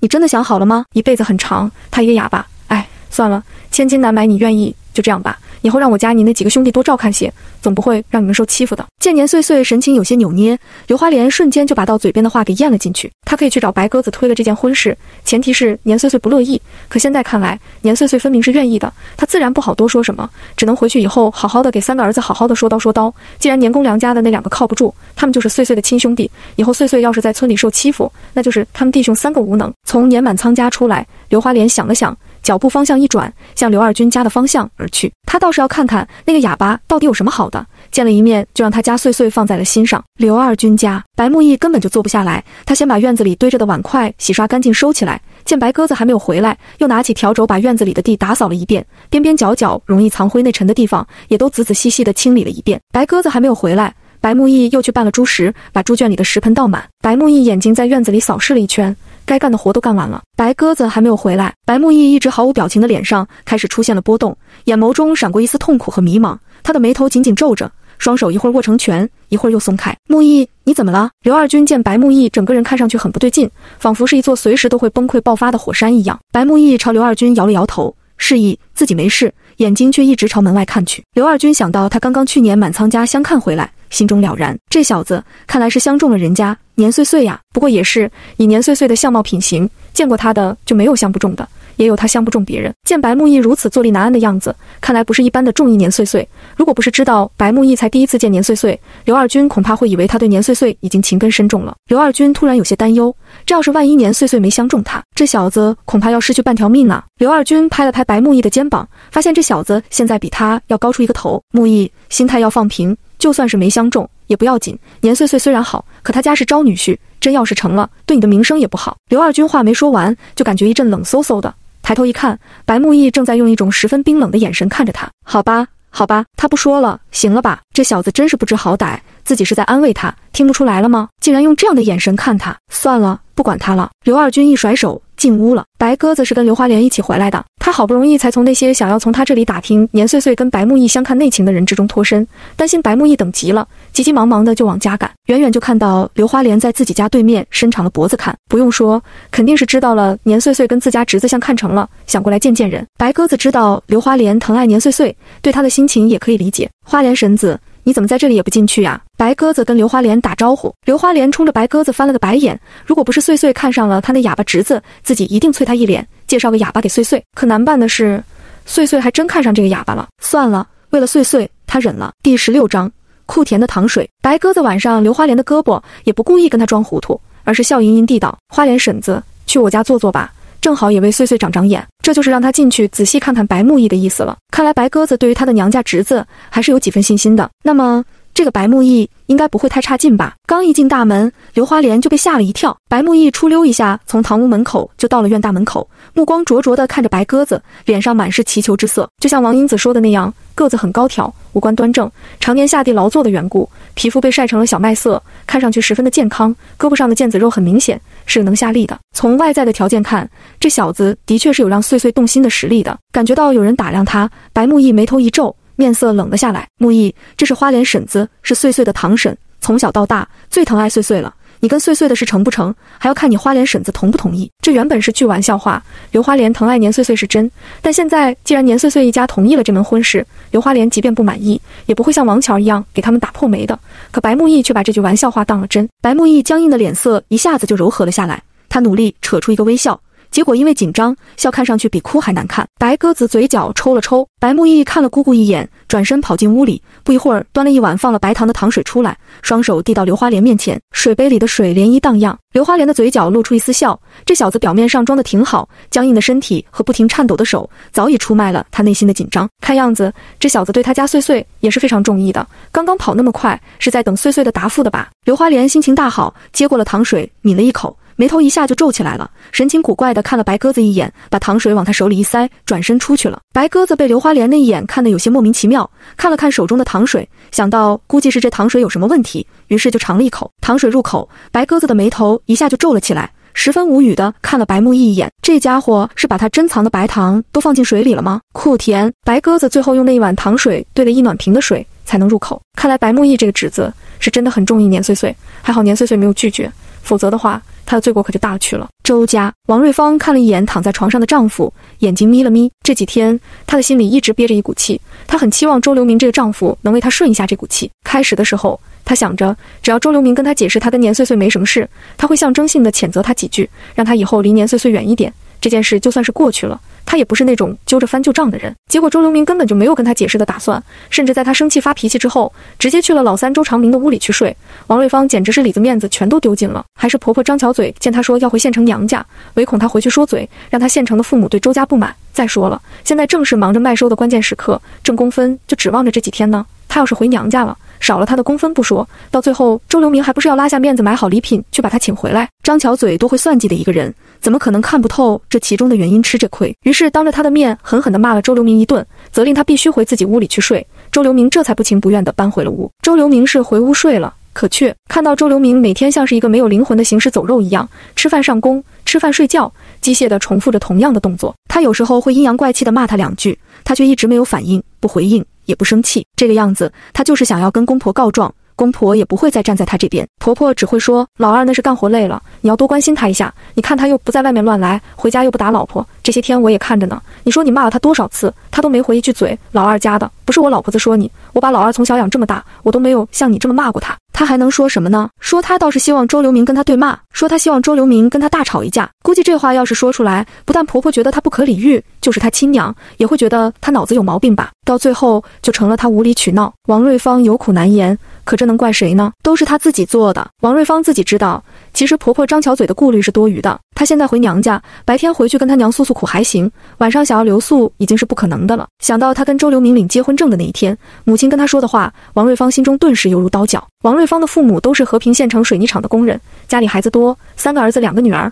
王瑞芳上有两个哥哥，下有一个弟弟，一个妹妹。两个哥哥毕业后也先后进入了水泥厂上班，弟弟妹妹年纪还小，只有他赶上上山下乡的热潮。王瑞芳不甘心。寻死觅活的闹了一番，最后他爹设下老脸，托人找关系，把他安排在了离家最近的一个大队，也就是现在他所在的杏树岗大队。为此，王家花费了一笔不小的钱财，家里的生活虽然不能说是一落千丈吧，到底还是受了不小的影响。以前的时候，一个月能吃上三顿肉。王瑞芳下乡之后，王家就变得两三个月都见不上荤腥。再加上王瑞芳刚下乡那两年干活不尽力，挣的工分少。到分粮食的时候，分的那仨瓜俩枣，连他自己都养不活，隔三差五的，少不了要回家去分兄弟姊妹的口粮。王家父母倒是能忍。可家里的其他人对王瑞芳却心里有了怨怼。这种情况持续到王家大哥、二哥各自娶了媳妇之后，有血缘关系的都对王瑞芳心存怨怼，更何况没有血缘关系的嫂子。王家老大媳妇和老二媳妇开始的时候也没觉得王瑞芳回家有什么不对，别说是没出嫁的小姑子，就是出嫁了的，也不能不让人回娘家。可慢慢的，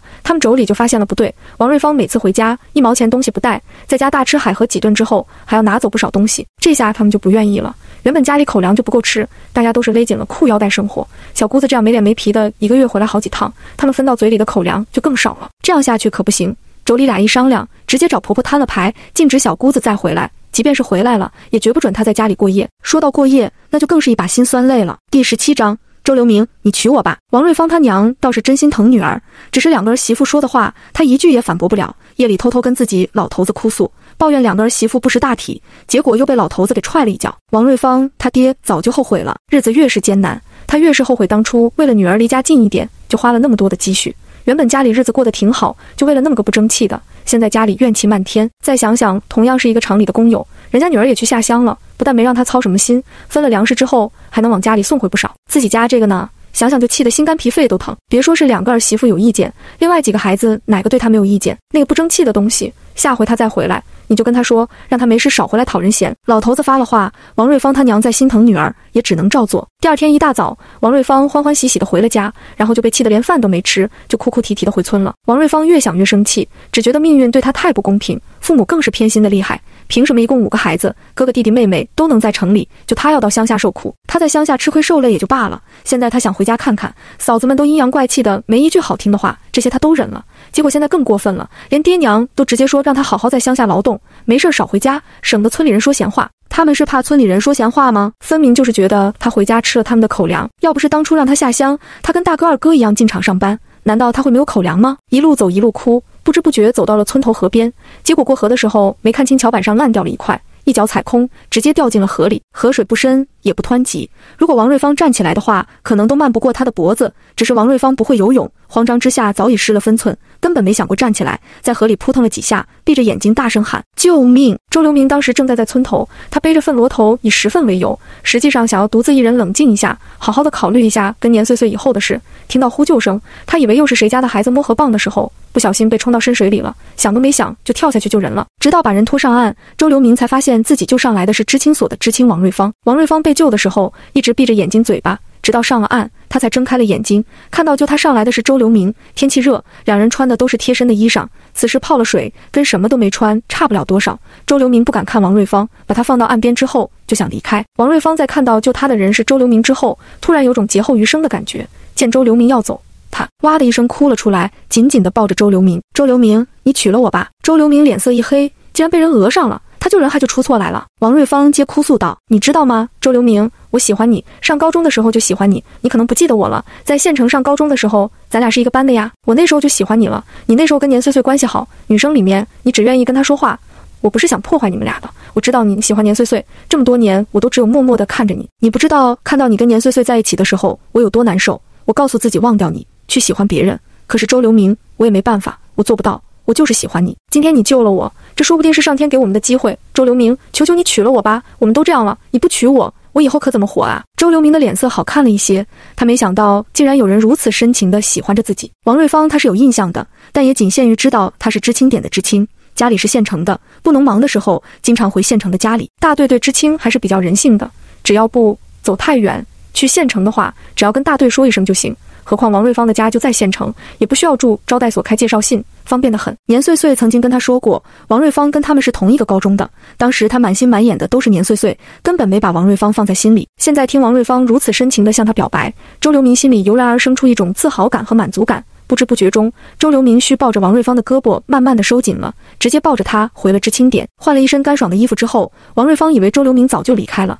可他开门一看，周留明斜倚着墙，比一般庄稼汉子略白的肌肤上还残留着没有干透的水珠。他的目光游离，不知在想些什么。王瑞芳心中一喜，看来周留明也不是像别人口中的那样对年岁岁死心塌地，或许他还是有希望的。于是他走上前去，大胆地搂住了周留明的腰。周留明身子僵了僵，却没有挣开他。你刚刚说的是不是真的？周留明有些苦恼地看了一眼王瑞芳搭在他腰间的手，手有些粗糙，还不如年岁岁的白嫩。想到他以前也是县城里的娇小姐。下乡之后，被粗重的农活给折磨成了这副样子，没来由的有些心疼。你说的是我喜欢你吗？王瑞芳眼神闪了闪，自然是真的。我骗你做什么？其实还有一件事，我谁都没有告诉，但我今天决定跟你说实话。什么？其实我原本不是分到这里的，只是我喜欢你，想要多看看你，就让我爹找人托关系转到了这里。这件事不是什么秘密。王瑞芳以前的确是没有分到杏树岗大队的，是他爹找了关系才转到这边的。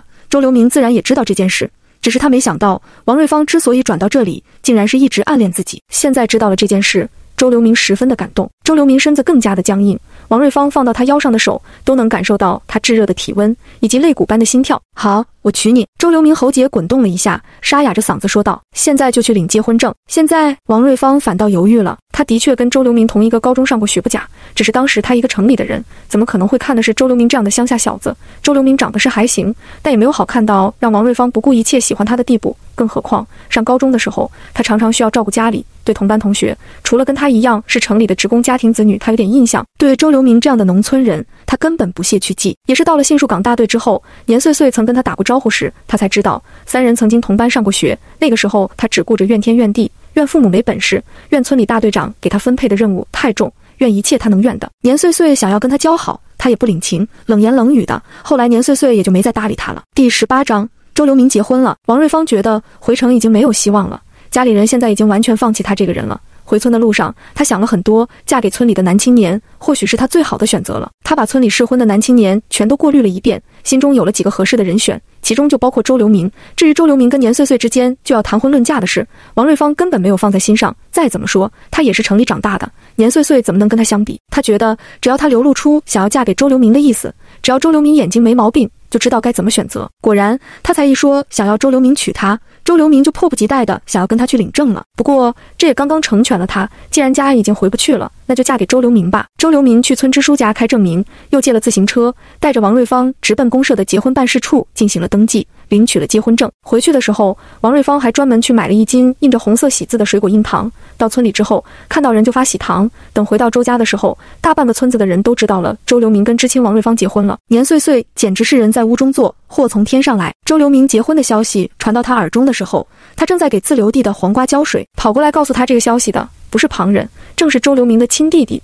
周家老三周长明，周长明知道周留明跟王瑞芳领了结婚证之后，直接一拳就砸到了他的脸上。周留明，你混蛋！周长明一路跑到年岁岁家，红着眼睛，一言不发地看着年岁岁。年岁岁问他，他也不说话，给他倒了水，他端着也不喝，就那样红着眼睛看着年岁岁。年岁岁因着周留明的关系，平时对周长明也不错。见周长明不说话，也没太在意，继续去自留地给黄瓜浇水。两桶水浇完之后，年岁岁拿了扁担准备去挑水，周长明一把抢过扁担。说了句：“你在这等着。”年岁岁跟周留明处对象的事，村里人基本都知道。周长明跟年岁岁的关系也不错，有时也会帮着他做些农活。这次他的异常，年岁岁也就没放在心上。黄瓜浇完了，两人又把西红柿豆角也一起浇了。直到这时，周长明才深吸了口气，告诉了年岁岁周留明跟王瑞芳已经领了结婚证的事。岁岁姐，我二哥他是个混蛋，你你别伤心，我来娶你吧。周长明最后一句话声音很低，但年岁岁还是听到了。他看了周长明一眼，笑道：“你这臭小子，说什么呢？我跟你二哥马上就要结婚了，这话以后可不能乱说了。”周长明垂下头，脸上的神情晦暗不明。岁岁姐，我来是要告诉你，我哥他是个混蛋，他已经跟知青点的王瑞芳领了结婚证。啪嗒，年岁岁手中的水瓢落在了地上，他仔细端详着周长明的神色，见他的眼圈通红，脸上全是痛苦之色，心中苦涩不已。周长明今天反常的举动，终于有了原因。他想过，可能周留明做了什么令他不快的事，只是他怎么也没有想到，周留明一声不吭的就跟王瑞芳领了结婚证。什么时候的事？年岁岁捡起水瓢，拍了拍，扔进了水桶里，语气中带着似哭未哭的颤音。就今天，他们回来的时候发了一路喜糖，估摸着现在整个村子的人都知道了。那王瑞芳还拿了结婚证出来给人看。岁岁姐，我看到了，结婚证是真的，上面盖的有公社的大红章。年岁岁只感觉一阵天旋地转，用扁担拄着才勉强站稳身子。他苦涩地笑了笑，这是为什么呀？前天不是还在跟我商量结婚的事吗？我们也没吵架呀，怎么就突然跟别人结婚了呢？年岁岁的声音很轻，听上去很不对劲。周长明喊了好几声，他都没有回应。最后才发现，年岁岁竟晕倒在了田埂上。周长明背着年岁岁去了卫生所，好在医生检查了一遍，说没什么事，只是有点气急攻心。年岁岁很快就醒了过来。年满仓和王英子慌慌张张地跑了过来，把周长明挤到了一边。回去的路上，年岁岁一言不发，他没有去周家大闹，更没有去跟王瑞芳撕扯。如果周留明不愿意，王瑞芳根本不可能强迫得了他。所以周留明是自愿跟王瑞芳领证的。年岁岁在家等了周留明三天，他以为周留明会给他一个解释的，结果周留明跟着王瑞芳一起去城里他娘家了。从县城回来之后，周家就给周留明和王瑞芳办了酒席。年岁岁远远看着周家热闹的场景，苦笑了一下，一言不发的回家就上吊了。要不是王英子发现的及时，年岁岁可能真的就死了。听到年岁岁上吊的消息时，周长明又给了周留明一拳，那吃人一般的神情，王瑞芳记得很是深刻。要说对年岁岁没有愧疚。王瑞芳倒也没有那么恶毒，只是要是把年岁岁上吊的事全都怨到他身上，就有点太过分了。而且年岁岁最后不是也没什么事吗？选在他摆酒席的时候上吊，恶心他那不是？更过分是，还不是周长明、周留明的做法，才让王瑞芳怒火中烧，恨不得挠他一脸血。农村的规矩，办了酒席才算是真的结婚。所以领了结婚证之后，王瑞芳并没有搬到周家去住，仍然回到知青点住。一直到办酒席当天，他才搬到周留明的房间里。吃酒席的人散去，周家人忙碌了一天，也都各自休息了。今天是一生中最大的日子。王瑞芳早起的时候，还专门好好的洗了个澡，用了他平时舍不得用的雪花膏涂抹了全身，坐在屋里含羞带怯的等着周留明。结果倒好，周留明一夜都没进屋，爬到屋顶上看了一夜的星星。一直到现在，他跟周留明结婚一个多月了。他虽然跟他睡在同一张床上，却一直都没有碰他。有时候他把手伸到他身上，能很明显的感受到他的需求。可当他想要更进一步的时候，周留明就会十分厌恶的一把甩开他。王瑞芳不明白周留明在坚持什么，难不成他觉得这样为年岁岁守身如玉，年岁岁还能会跟他再续前缘不成？王瑞芳恨恨地剜了一眼周留明，他想得倒美，也要看他同意不同意。哼，不就是耗着吗？他有的是时间。听说年岁岁今天已经相看成了，对方是个哑巴。想到这里，王瑞芳不由翘了翘嘴角。第十九章。周长明的心思，王瑞芳洗漱好，在周留明的身边躺下。这一次，他没有像之前那样沉默，而是率先开口，十分自然地跟周留明提起了年岁岁的事。听说年岁岁今天相看成了，男方是一个哑巴，刘二军媳妇白鸽子娘家的侄子，两家都同意了，就差走入赘的流程了。虽然已经极力的压制了。但王瑞芳的声音里还是不自觉地带来几分幸灾乐祸之色。周留明听着王瑞芳幸灾乐祸的声音，一股子郁气涌上心头，怎么都无法消散。自从他结婚之后，年岁岁就彻底的不理他了。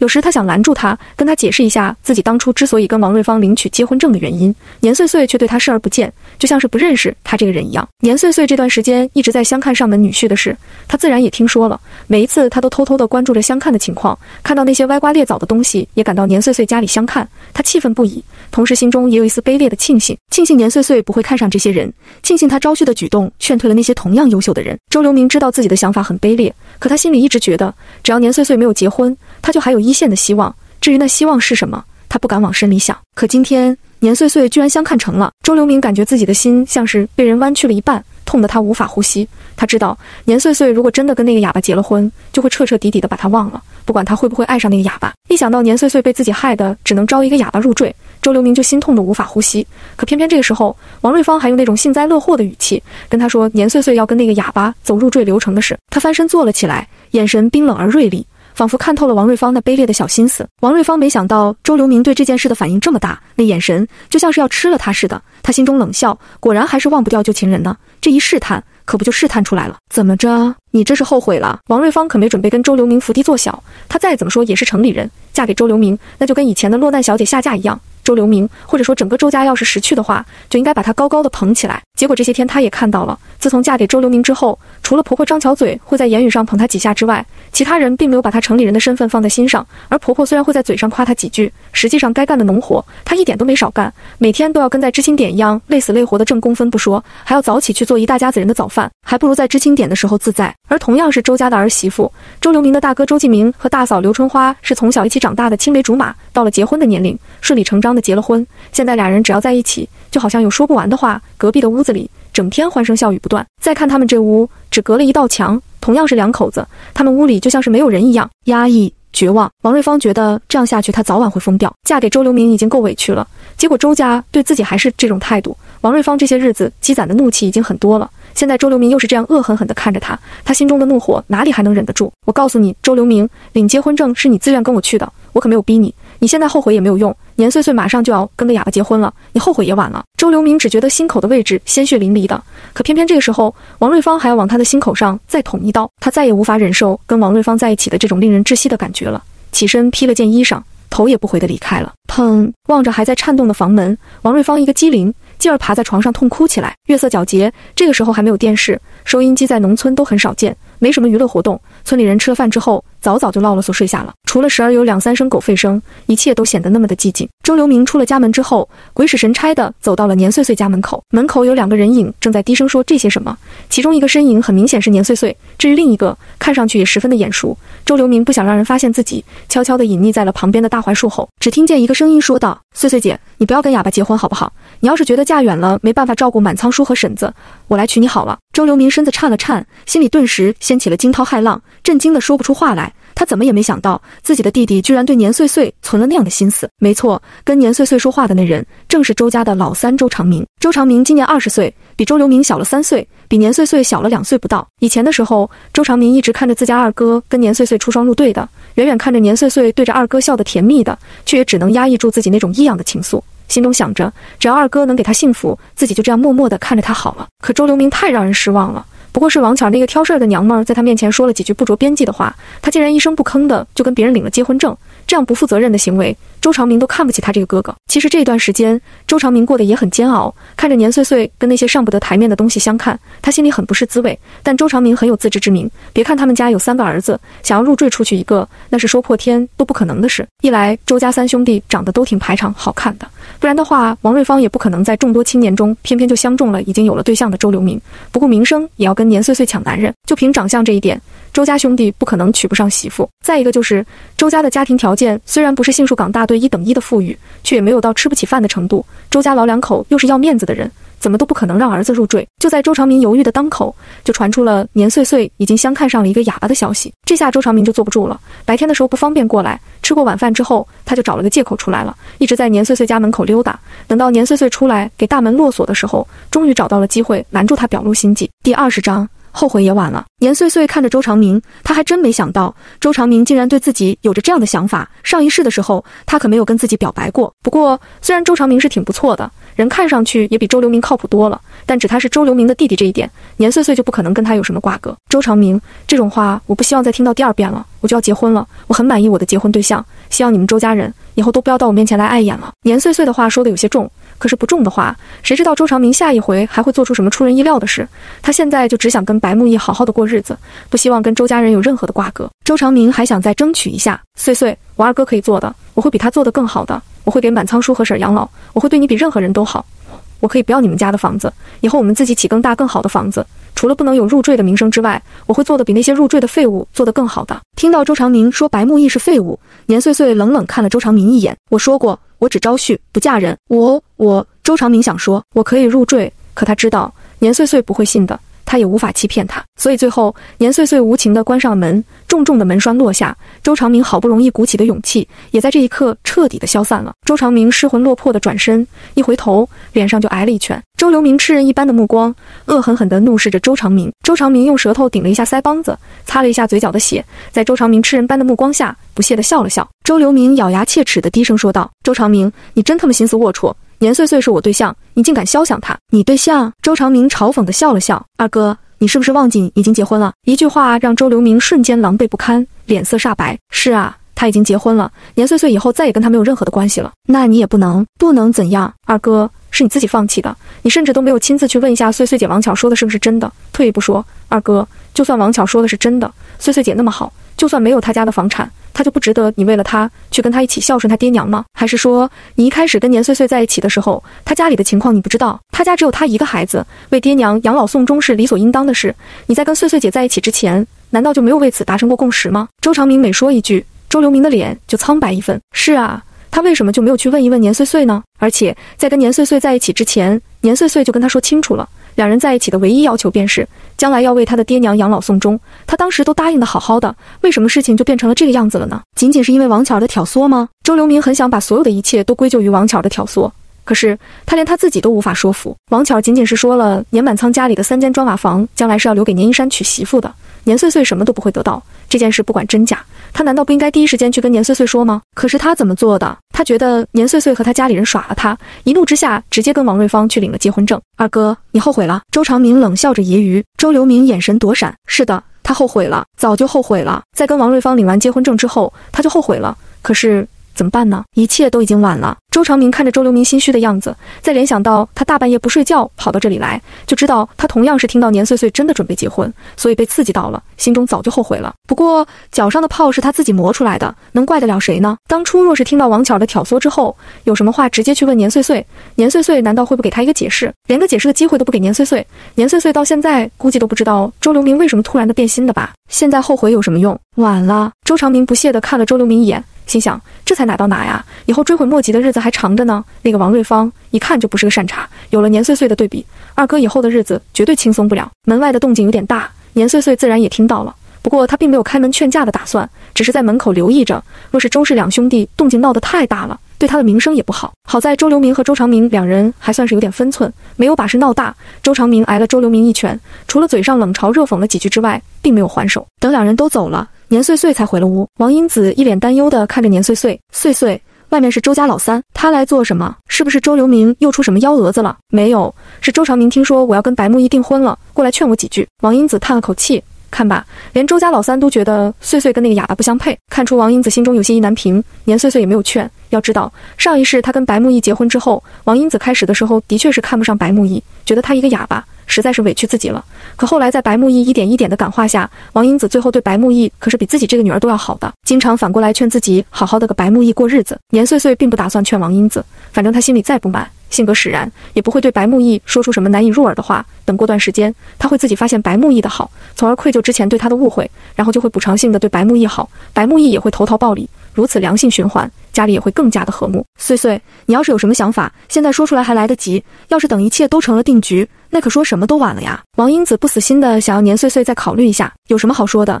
真要说的话，年岁岁只希望跟白木易能够快点结婚，仅此而已。娘，我挺喜欢白木易的，相信我，我们以后一定会越来越好的。第二十一章，白木易去黑市了。梨树岗大队。白大根家，白木易心情很好的搓洗着自己的衣服，眉眼之间都带着隐藏不住的喜意。只要一想到年岁岁，他就满心满眼的欢喜。百里是眼神复杂的看着二儿子。自打从小姑子家回来之后，他整个人都鲜活了起来。自从嗓子坏了之后，百里氏就眼睁睁的看着二儿子一天比一天消沉，而随着一次次的相亲，慢慢的就变得死气沉沉，再也没有一丝的鲜活气儿了。百里是以为白木易一辈子也就这样了。没想到去了一趟小姑子家之后，他仿佛一下就回到了嗓子没坏之前的样子。百里是心情很是复杂，他跟白鸽子的关系说不上太好。白鸽子出嫁之前一直帮他带孩子，他的三个孩子基本都是白鸽子带大的。而白鸽子在这三个侄子当中最疼的就是老二白木易，白木易也从小就跟白鸽子这个小姑姑亲。百里氏对此虽然没明确的说什么，到底心里是不舒服的。自己生的孩子，到头来却不跟他亲。现在白鸽子把白木易弄到杏树岗大队做上门女婿，跟白鸽子家一个村，以后白木易这个儿子怕是要白养了。木易，你真的考虑清楚了吗？入赘可不是那么好的，这以后你要承受的。可不仅仅是外人的白眼和冷嘲热讽，还有你老丈人一家对你的挤兑和打压，你真的不再想想了吗？白木易揉搓衣裳的手一顿，很快就又重新开始搓洗。对于百里氏的话，像是没听到一样。白家老三白运来的媳妇杨红艳抚摸着肚子，坐在门前晒太阳。闻言看了一眼白木易，开口道：“娘，那你的意思，二哥去给人家招夫养子比入赘好？”百里氏不说话了。杨红艳不屑地撇了撇嘴：“别以为他看不出来，这个家里已经把哑巴二哥当成了一个累赘了。别说是入赘。”大嫂麻秋都已经给他招夫养子的寡妇了，在他看来，入赘再怎么说也比给人招夫养子的强吧。还有婆婆假惺惺的说什么让他考虑清楚之类的，无非是担心哑巴二哥将来日子过得不好会落埋怨罢了。要是哑巴二哥真的黄了这门亲事，还继续得在家里，不用别人说三道四，婆婆自己估计就会催促他答应去入赘。白木一麻利的把衣服洗好晾起来，然后回了自己的屋里。屋里的陈设很简单，除了一张架子木床之外，就只有一张书桌、一把椅子、衣柜、箱子什么的是没有的。就算是有衣柜，他也没有衣裳放。自从他嗓子坏了以后，就再也没有添过一件新衣裳了。即使是他拼了命的干活，挣的工分比家里任何一个人的都多，就因为他是个哑巴，就只配穿补丁落补丁的旧衣裳。他唯一拿得出手的衣裳，就是院子里他刚刚洗过的那一身了。吃饭大家都是一起的，看似没什么不同，但白木易知道他们都是有小灶吃的。家里的鸡蛋和白面不会无缘无故的减少。以前的时候，白木易不在意吃穿用度，他从来都不在意，因为他的生活没有了任何的盼头。现在不一样了。他的生命中有了他为之奋斗的光。白木易觉得他可以吃得不好，穿得很差，但他不能让年岁岁以后也跟着他吃苦。从现在起，他也该为他们以后的生活做打算了。事业，白木易等所有人都睡着之后，悄无声息地离开了村子。两个小时后，县城西南一个普通的小院传来一阵敲门声。风元奎刚穿戴好，正准备出门，听到敲门声，一下警惕起来了。谁？回应他的又是一阵很有节奏的敲门声。风元奎一下放松下来。取下门栓，拉开门将，来人迎了进来。白木易，你来了，怎么样？考虑清楚了。白木易神情严肃地朝着风元奎比划了几下。风元奎拿来纸笔，放到白木易跟前。白木易在纸上询问风元奎时间、地点、待遇。你小子终于想通了，我早就跟你说过，跟着我不会亏待你的。风元奎没有询问白木易为何想通了，他很早之前就跟白木易关系不错。后来白木易嗓子坏了之后，他也没有像别人一样远离他。为了照顾白木易，他还主动邀请他跟自己一起干。不过被白木易给拒绝了。现在白木易能想通，风元奎还是挺高兴的。风元奎笑着一一回答了白木易的疑问。你应该也猜到了，咱们干的这个比较特殊，上工的时间和地点都不固定。这一次结束之前会通知下一次上工的地点和时间。至于工钱嘛，你放心，先期你上一个工给你十五块钱，后期会根据市场的情况给你涨工钱。白木易点头，又在纸上写了几个问题，风元奎都一一回答了。眼看时间不早了，风元奎道：“你今天既然来了。”不如跟我一起去上一个工，也好记下下次上工的时间和地点，你看如何？白木易现在急需要钱，这次来找风元奎，本就奔着挣钱来的。自然是没什么意见了。风元奎锁了门，带着白木易七拐八拐，很快来到了一处偏僻的巷子里。此时大概是凌晨三四点钟，里面已经热闹起来了。昏暗的灯光下，各种小摊琳琅满目，很多在供销社买不到的东西，在这里都能买得到。只要你能出得起价钱，没有票也能买得到。白木易跟在风元奎身后，面上不显，实际心早已激动得快要跳出来了。风元奎带着白木易到了巷子不远处的一间民房，让白木易在一边等着。风元奎自己先进去，向民房里面的人去汇报。白木易暴毙站在那里，像是一棵坚挺的白杨树一样，隐约能够听到风元奎略带讨好的声音。我的一个朋友，身手非常矫健。元奎，这里的规矩你是知道的，人是你带过来的，我信任你。不过出了事，你可要负责。还有这个人的口风紧不紧？风元奎低声道：“老大，你放心，再没有比他口风更紧的了。他早些年伤了嗓子，不能说话了。一听说是个哑巴，对方就没有继续往下问，直接道：那行，你带他过去熟悉一下吧。”以后就在你手下干吧。不一会儿，风元奎出来向白木易说了一句：“跟我来吧。”第二十二章，白木易不去上工了。白木易一言不发地跟着风元奎，听他讲道：“你主要的任务就是维持这里的秩序。如果有人闹事，就先抓，呃，是先看管起来，等交易时辰结束以后再做处理。”白木易点头表示明白了。这个活的性质，说是维持秩序的。其实就是保镖打手，活很轻松。白木易就是跟着几个跟他一样身材魁梧、戴着特制的头巾、包裹得很严实的人，在黑市上来回的巡视。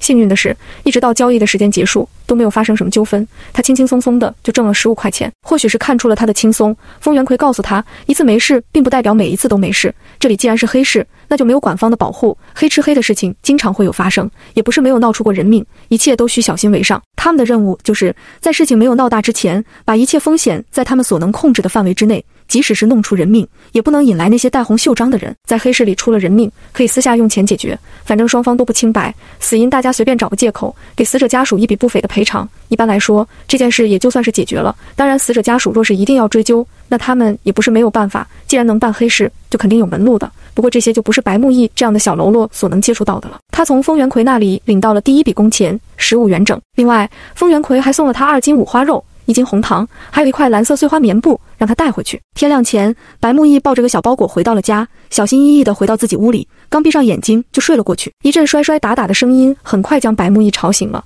他躺在床上，看了看外面的天色，刚蒙蒙亮。他入睡应该不到半个小时。白木易眼神微冷。他知道外面是大嫂在摔打他，跟平时一样。大嫂麻秋每天早上要早起做一家人的早饭。以前的时候是大嫂和三弟妹轮流做的，后来三弟妹怀孕之后，借口孩子就不早起了，做早饭的活就落到了大嫂一个人的头上。大嫂心中不满，却不敢对婆婆和妯娌发作，唯一能做的。就是把这不满情绪发泄到他这个哑巴身上。每次他起来之后，只要发现自己屋里的门还从里面拴着，就会在他窗外敲敲打打，直到把他吵醒才会罢休。敲打声还在继续，对白木易没有像以前一样出门去拾粪，很是不满。摔打的声音更大了些。麻秋儿，你做什么死？大清早的你还让不让人睡觉了？再敲老娘撕烂了你！百里氏的骂声一响，院子里的摔打声立即停了下来。白木易实在太困了，没有理会外面的摔打声，翻了个身。继续睡了过去，再次被叫醒，是已经到了上工的时间。家里其他人都已经吃过早饭了。白木易洗了把脸，去厨房掀开锅盖，却发现他们一点吃的都没有给自己留，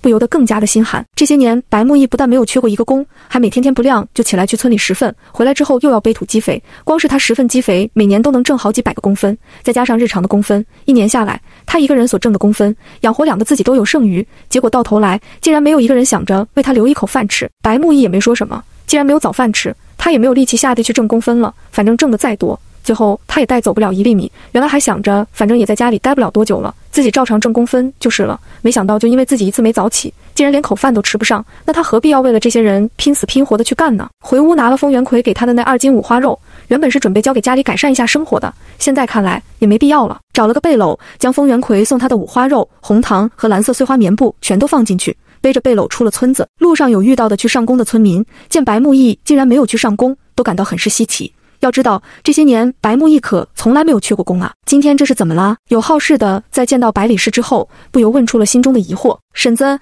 你家哑巴怎么不来上工了？他平时不都是很勤快的吗？”百里氏并不知道白木易没有上工的事，听到有人这样问。想到白木易以往天不亮就出去拾粪沤粪了，今天竟然早饭都没起来吃。当时他只觉得白木易是想偷懒，所以默认了麻秋没有给他留饭的做法。现在知道木易居然没有来上工，心中就有些不安了。莫不是老二病了，起不来床了？他嫂子可能是我家木易身体不舒服，你帮我看着点，我回去看看他。百里氏想要让人帮他看着人，要是万一有积分员过来，就说自己去厕所了。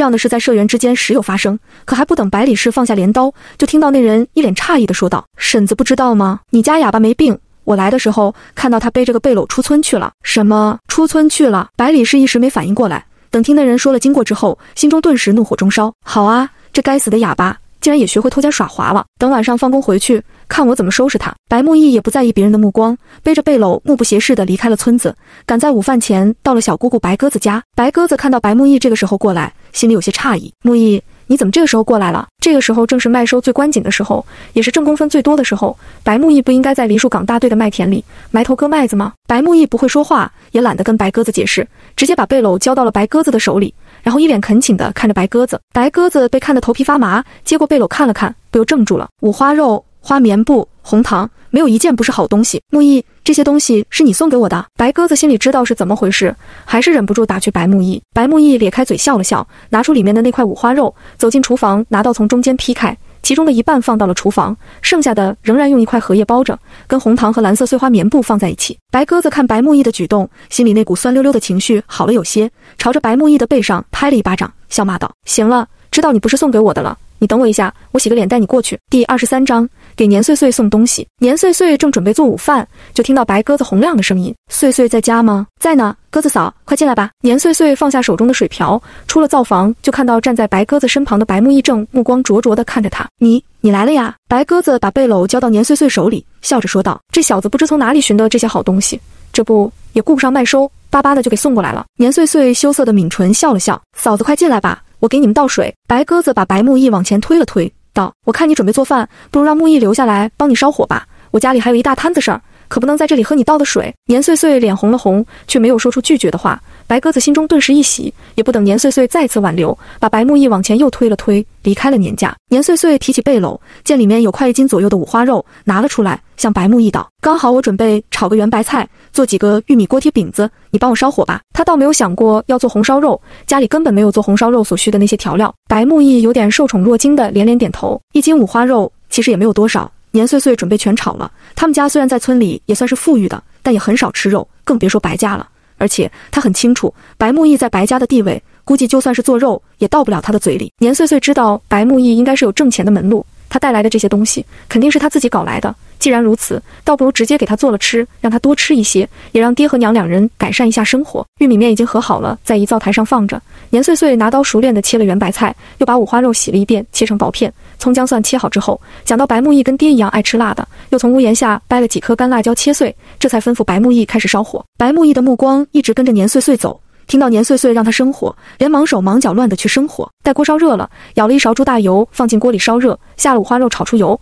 把锅里的油重新舀了几勺倒进土桃双耳油罐里，这才下了葱姜蒜干辣椒段炒出味儿，放了圆白菜进去，煸炒了几下，倒了水进去，然后把玉米面在手心里团几下，按成饼子贴到锅边。年满仓和王英子浇完自留地的菜回到家，远远就闻到自己家里有肉的香味。王英子狠狠地吸了一口肉香。笑道：“这是谁家改善生活呢？真香啊！”年满仓也笑，等这两天有空了，咱也去公社割二两肉解解馋。还是算了吧，我也没那么馋。过阵子岁岁结婚摆酒的时候，再好好吃一顿吧。二人说着就到了家，谁知进了大门之后，肉香味更大了。王英子一下就感觉出了不对劲。岁岁做好饭了吗？你炒的什么菜呀？年岁岁见爹娘都回来了，一边招呼白木易：“你去把屋里的桌子搬出来，放到那棵树下的阴凉地儿。”又向王英子道：“娘，饭已经好了。木易带了五花肉过来。”我炒了个五花肉炒圆白菜粉条，凉拌了一个黄瓜变蛋。年满仓和王英子此时已经看到了正忙着搬桌子摆饭的白木易，白木易满脸堆笑的跟两人打招呼。年满仓去洗手了，王英子笑着说了一句：“木易来了呀。”也去洗手了。白木易脸上的笑僵在了那里。年岁岁安抚地拍了拍白木易的肩膀，白木易一下又精神抖擞了，把厨房里的饭菜一一端了过来。饭很简单，除了玉米锅贴饼子和一荤一素两个菜之外，还有一锅绿豆糊糊，就是一把绿豆凉水下锅，煮开花后倒入搅拌好的面糊，再次烧开即可。王英子看到圆白菜里面的五花肉片，心忍不住一阵抽抽。早知道不让岁岁回来做饭了，这孩子怎么放这么多肉片啊？娘，快吃吧。木易知道你跟爹这几天麦收下了大利，专门给你们带了五花肉补补。年岁岁说着，往爹娘的碗里各放了一片五花肉，想了想，又往白木易的碗里放了一块。你也吃。麦收活重，需要好好补补。白木易原本紧张的不敢下筷子，没想到年岁岁竟然给自己也加了菜，顿时心花怒放，放进嘴里的肉片都舍不得咽下去了。直到年岁岁又给他加了一筷子肉片，等第三次年岁岁再往白木易的碗里加肉片时，他说什么也不愿意再吃了，一直示意年岁岁留着肉片给爹娘吃。王英子看到年岁岁一直给白木易加肉，心里有些不是滋味。不过也真是如此，他也算是彻底明白了，年岁岁是真心要跟白木易过日子的，所以即便仍对白木易有些不满。对他的态度也改变了一些，温声说道：“木易啊，到这里了就跟自己家一样的，别客气。你看岁岁专门炒了这么多，我跟你说哪里吃得完？天气这么热，吃不完就放坏了。你快吃吧。”白木易鼻子酸酸的，眼眶有些湿润。在自己家的时候，可从来没有人给他加肉吃，哪怕那肉是他弄回来的，他都不一定有口肉汤喝。两相一对比，白木易就更加迫不及待的想要赶紧入赘过来了。白木易不能说话，无法用言语表达自己情感。他站了起来，深深地朝王英子和年满仓鞠了一躬。好了，都是一家人，哪那么多礼？快坐下吃饭吧。年满仓也道：“坐下吧，以后好好对岁岁就行。”吃完了午饭，白木易抢着去把碗筷刷了。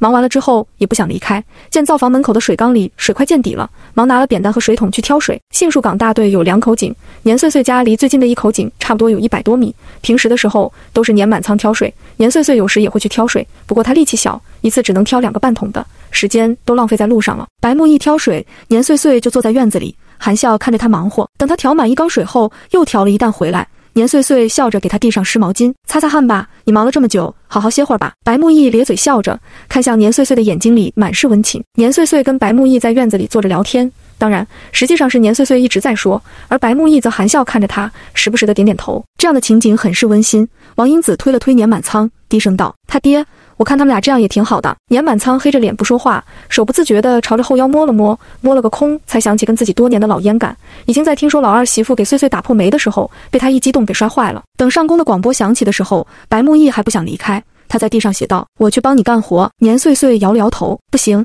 现在还不是时候，等你正式过来了再帮我干活，到时候我就在家躲懒，让你养着。”白木易眼睛亮了亮，耳根子不自觉的就红了，却还是握紧了拳头，重重的点点头：“我养你。”第二十四章救人被诬陷。白木易回去的路上，心情好的快要飞起来了，想着等下一个交易日的时候，他就可以再买一些东西。到时候就不用再麻烦小姑一起了，他直接去给年岁岁送去。一想到年岁岁，白木易一身的疲劳仿佛一下子就消失了，身上充满了干劲，好想下一个上工的日子快点到来。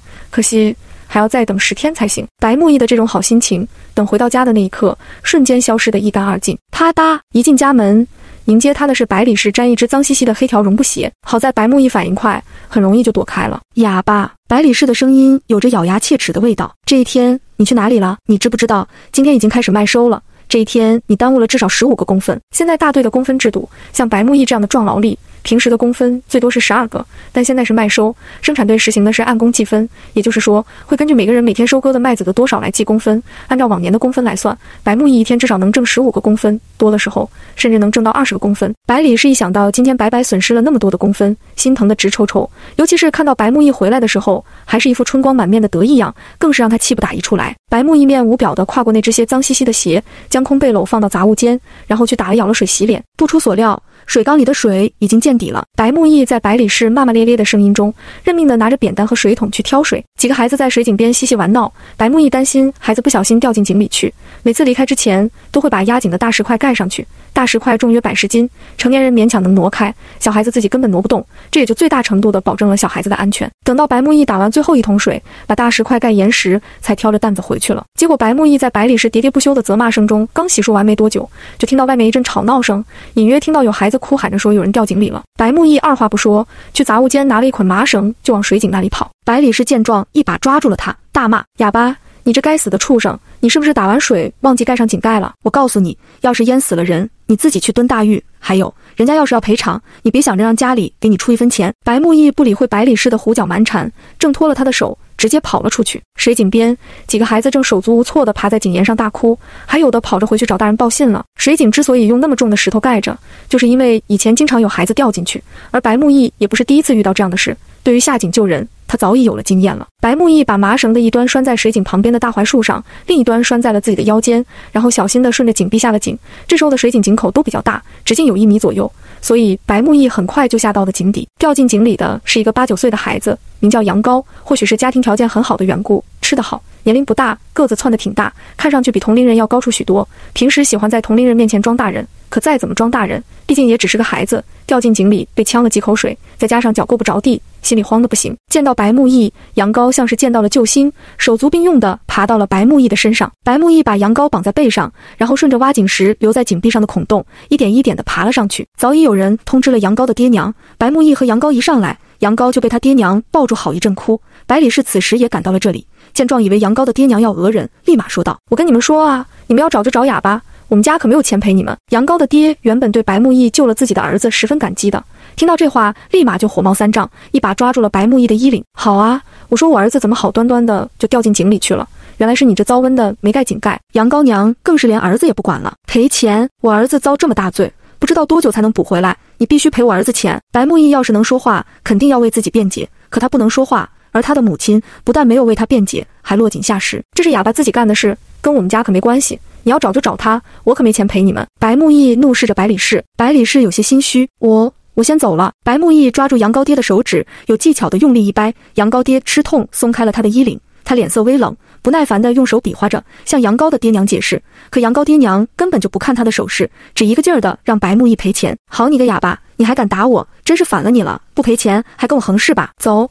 咱们去找大队长评评理去。杨高爹嘴上说的厉害，但经过刚刚白木易的那一掰，对他很是畏惧，却不敢去拉他见大队长，只能求助围观的人。大家给评评理，这哑巴也太嚣张了，害了我家羊羔，还出手打我。旁边围观的人也都纷纷指责白木易，平时没看出来，这哑巴真是坏心啊！明知道这么多的孩子在井边玩，竟然还故意不盖井盖，这是谋杀啊！就是，怪不得会突然哑巴了，就是他心眼太坏，遭了报应了。也有人为白木易出头，可是也是哑巴下井救了羊羔啊！要不是哑巴。说不定羊羔已经被淹死了呢。这句话一出，看热闹的人顿时安静了一下，紧接着就有人反驳：“说不定是良心发现了。”呸！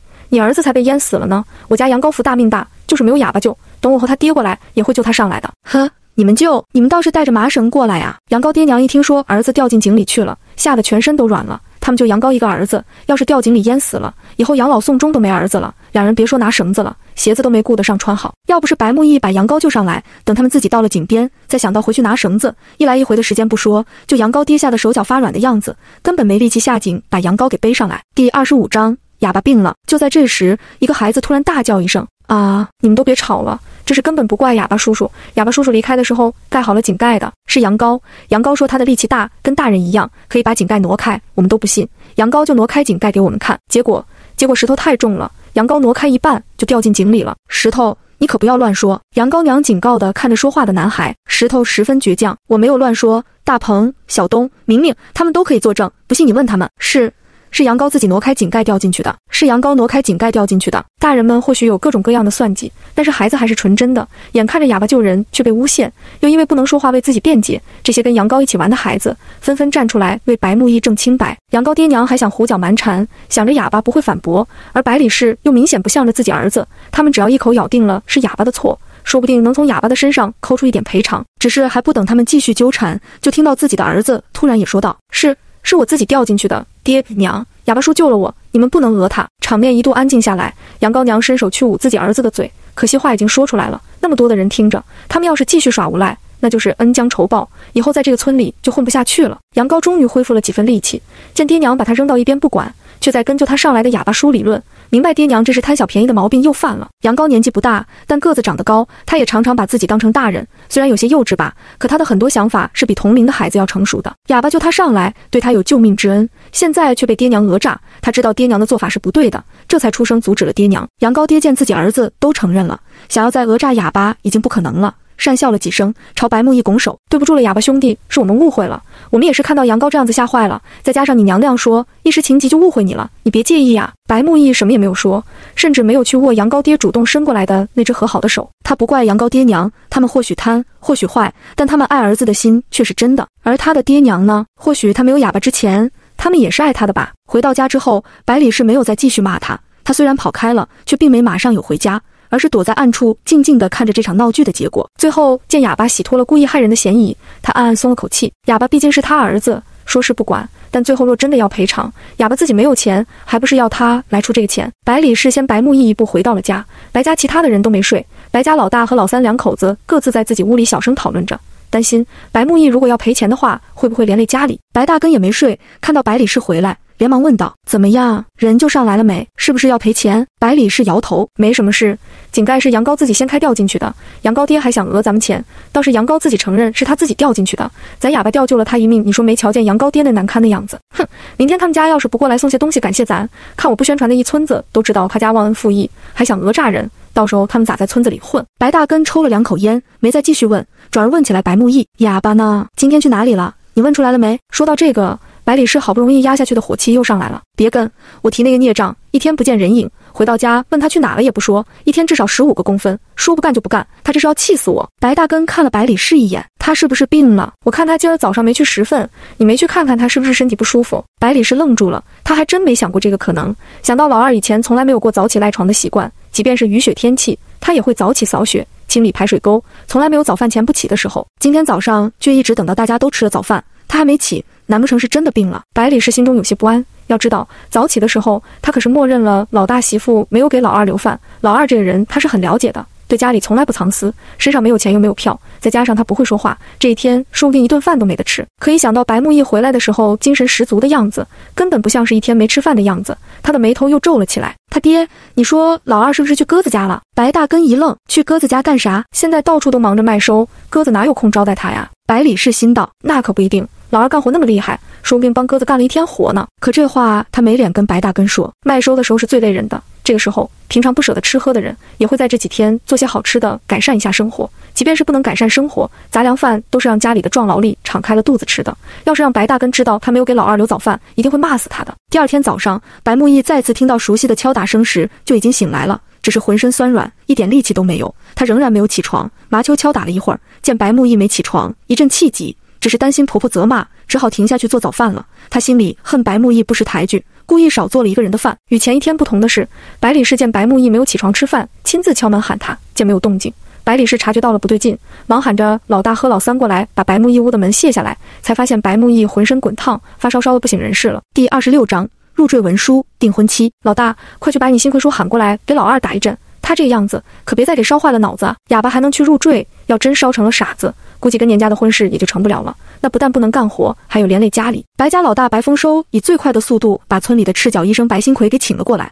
白新奎给白木易量了一下体温。顿时怒了，你们家对这孩子也太不上心了，都烧到四十度了，再这样下去，人都烧成傻子了。白新奎说着，连忙给白木易打了退烧针，让人拿了湿毛巾过来给白木易搭在额头上，给他降温。一直等到白木易头上出了细密的汗珠，人也有了意识，白新奎才给他留下了几片退烧药。嘱咐他要按时吃药，这才背着木质的沉重医药箱离开了白家。至于白家的其他人，早就去地里收麦子去了。吃早饭的时候，百里是看到又没有白木易的饭，狠狠地瞪了麻秋一眼。下次饭再不够，你就别吃了。麻秋缩了缩脖子，中午在做饭的时候。果然不敢再少做白木易的饭了。中午的时候，白木易退烧了，一家人沉默着吃完了饭。麻秋又开始摔摔打打，抱怨着白木易在最忙的时候不去上工，在家吃白饭。开始的时候还只是小声的嘟囔，见百里氏没有阻止，更是大胆了起来，咒骂的声音一声比一声高。白木易自嘲的笑了笑，拿着镰刀出了家门。白丰收瞪了麻秋一眼：“老二还病着，你就不能少说两句？”麻秋哼了一声：“娘都没说我。”白丰收不说话了，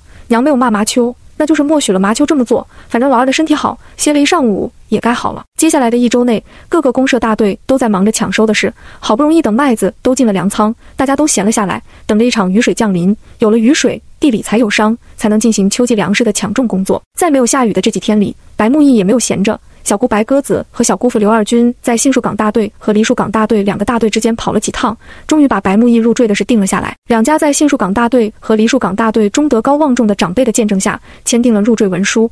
以后白木易就算是入赘年家了，对于白家来说，就相当于嫁出去了一个女儿。入赘出去的儿子有一个约定成俗的规矩，不继承父母的家产。同时也没有为父母养老的义务了，以后只赡养女方父母。当然了，若是碰到女方比较识大体，而男方父母又比较通情达理，两家也会时常走动一下，每年给男方的父母送些养老的粮食。年家和白家以后是否会时常走动，暂时还无法确定。但白木易入赘年界，为了补偿白家，年界给了白家五十斤的玉米和五十斤的小麦，以及五十元现金作为聘礼。年岁岁和白木易两人的婚期也就定了下来。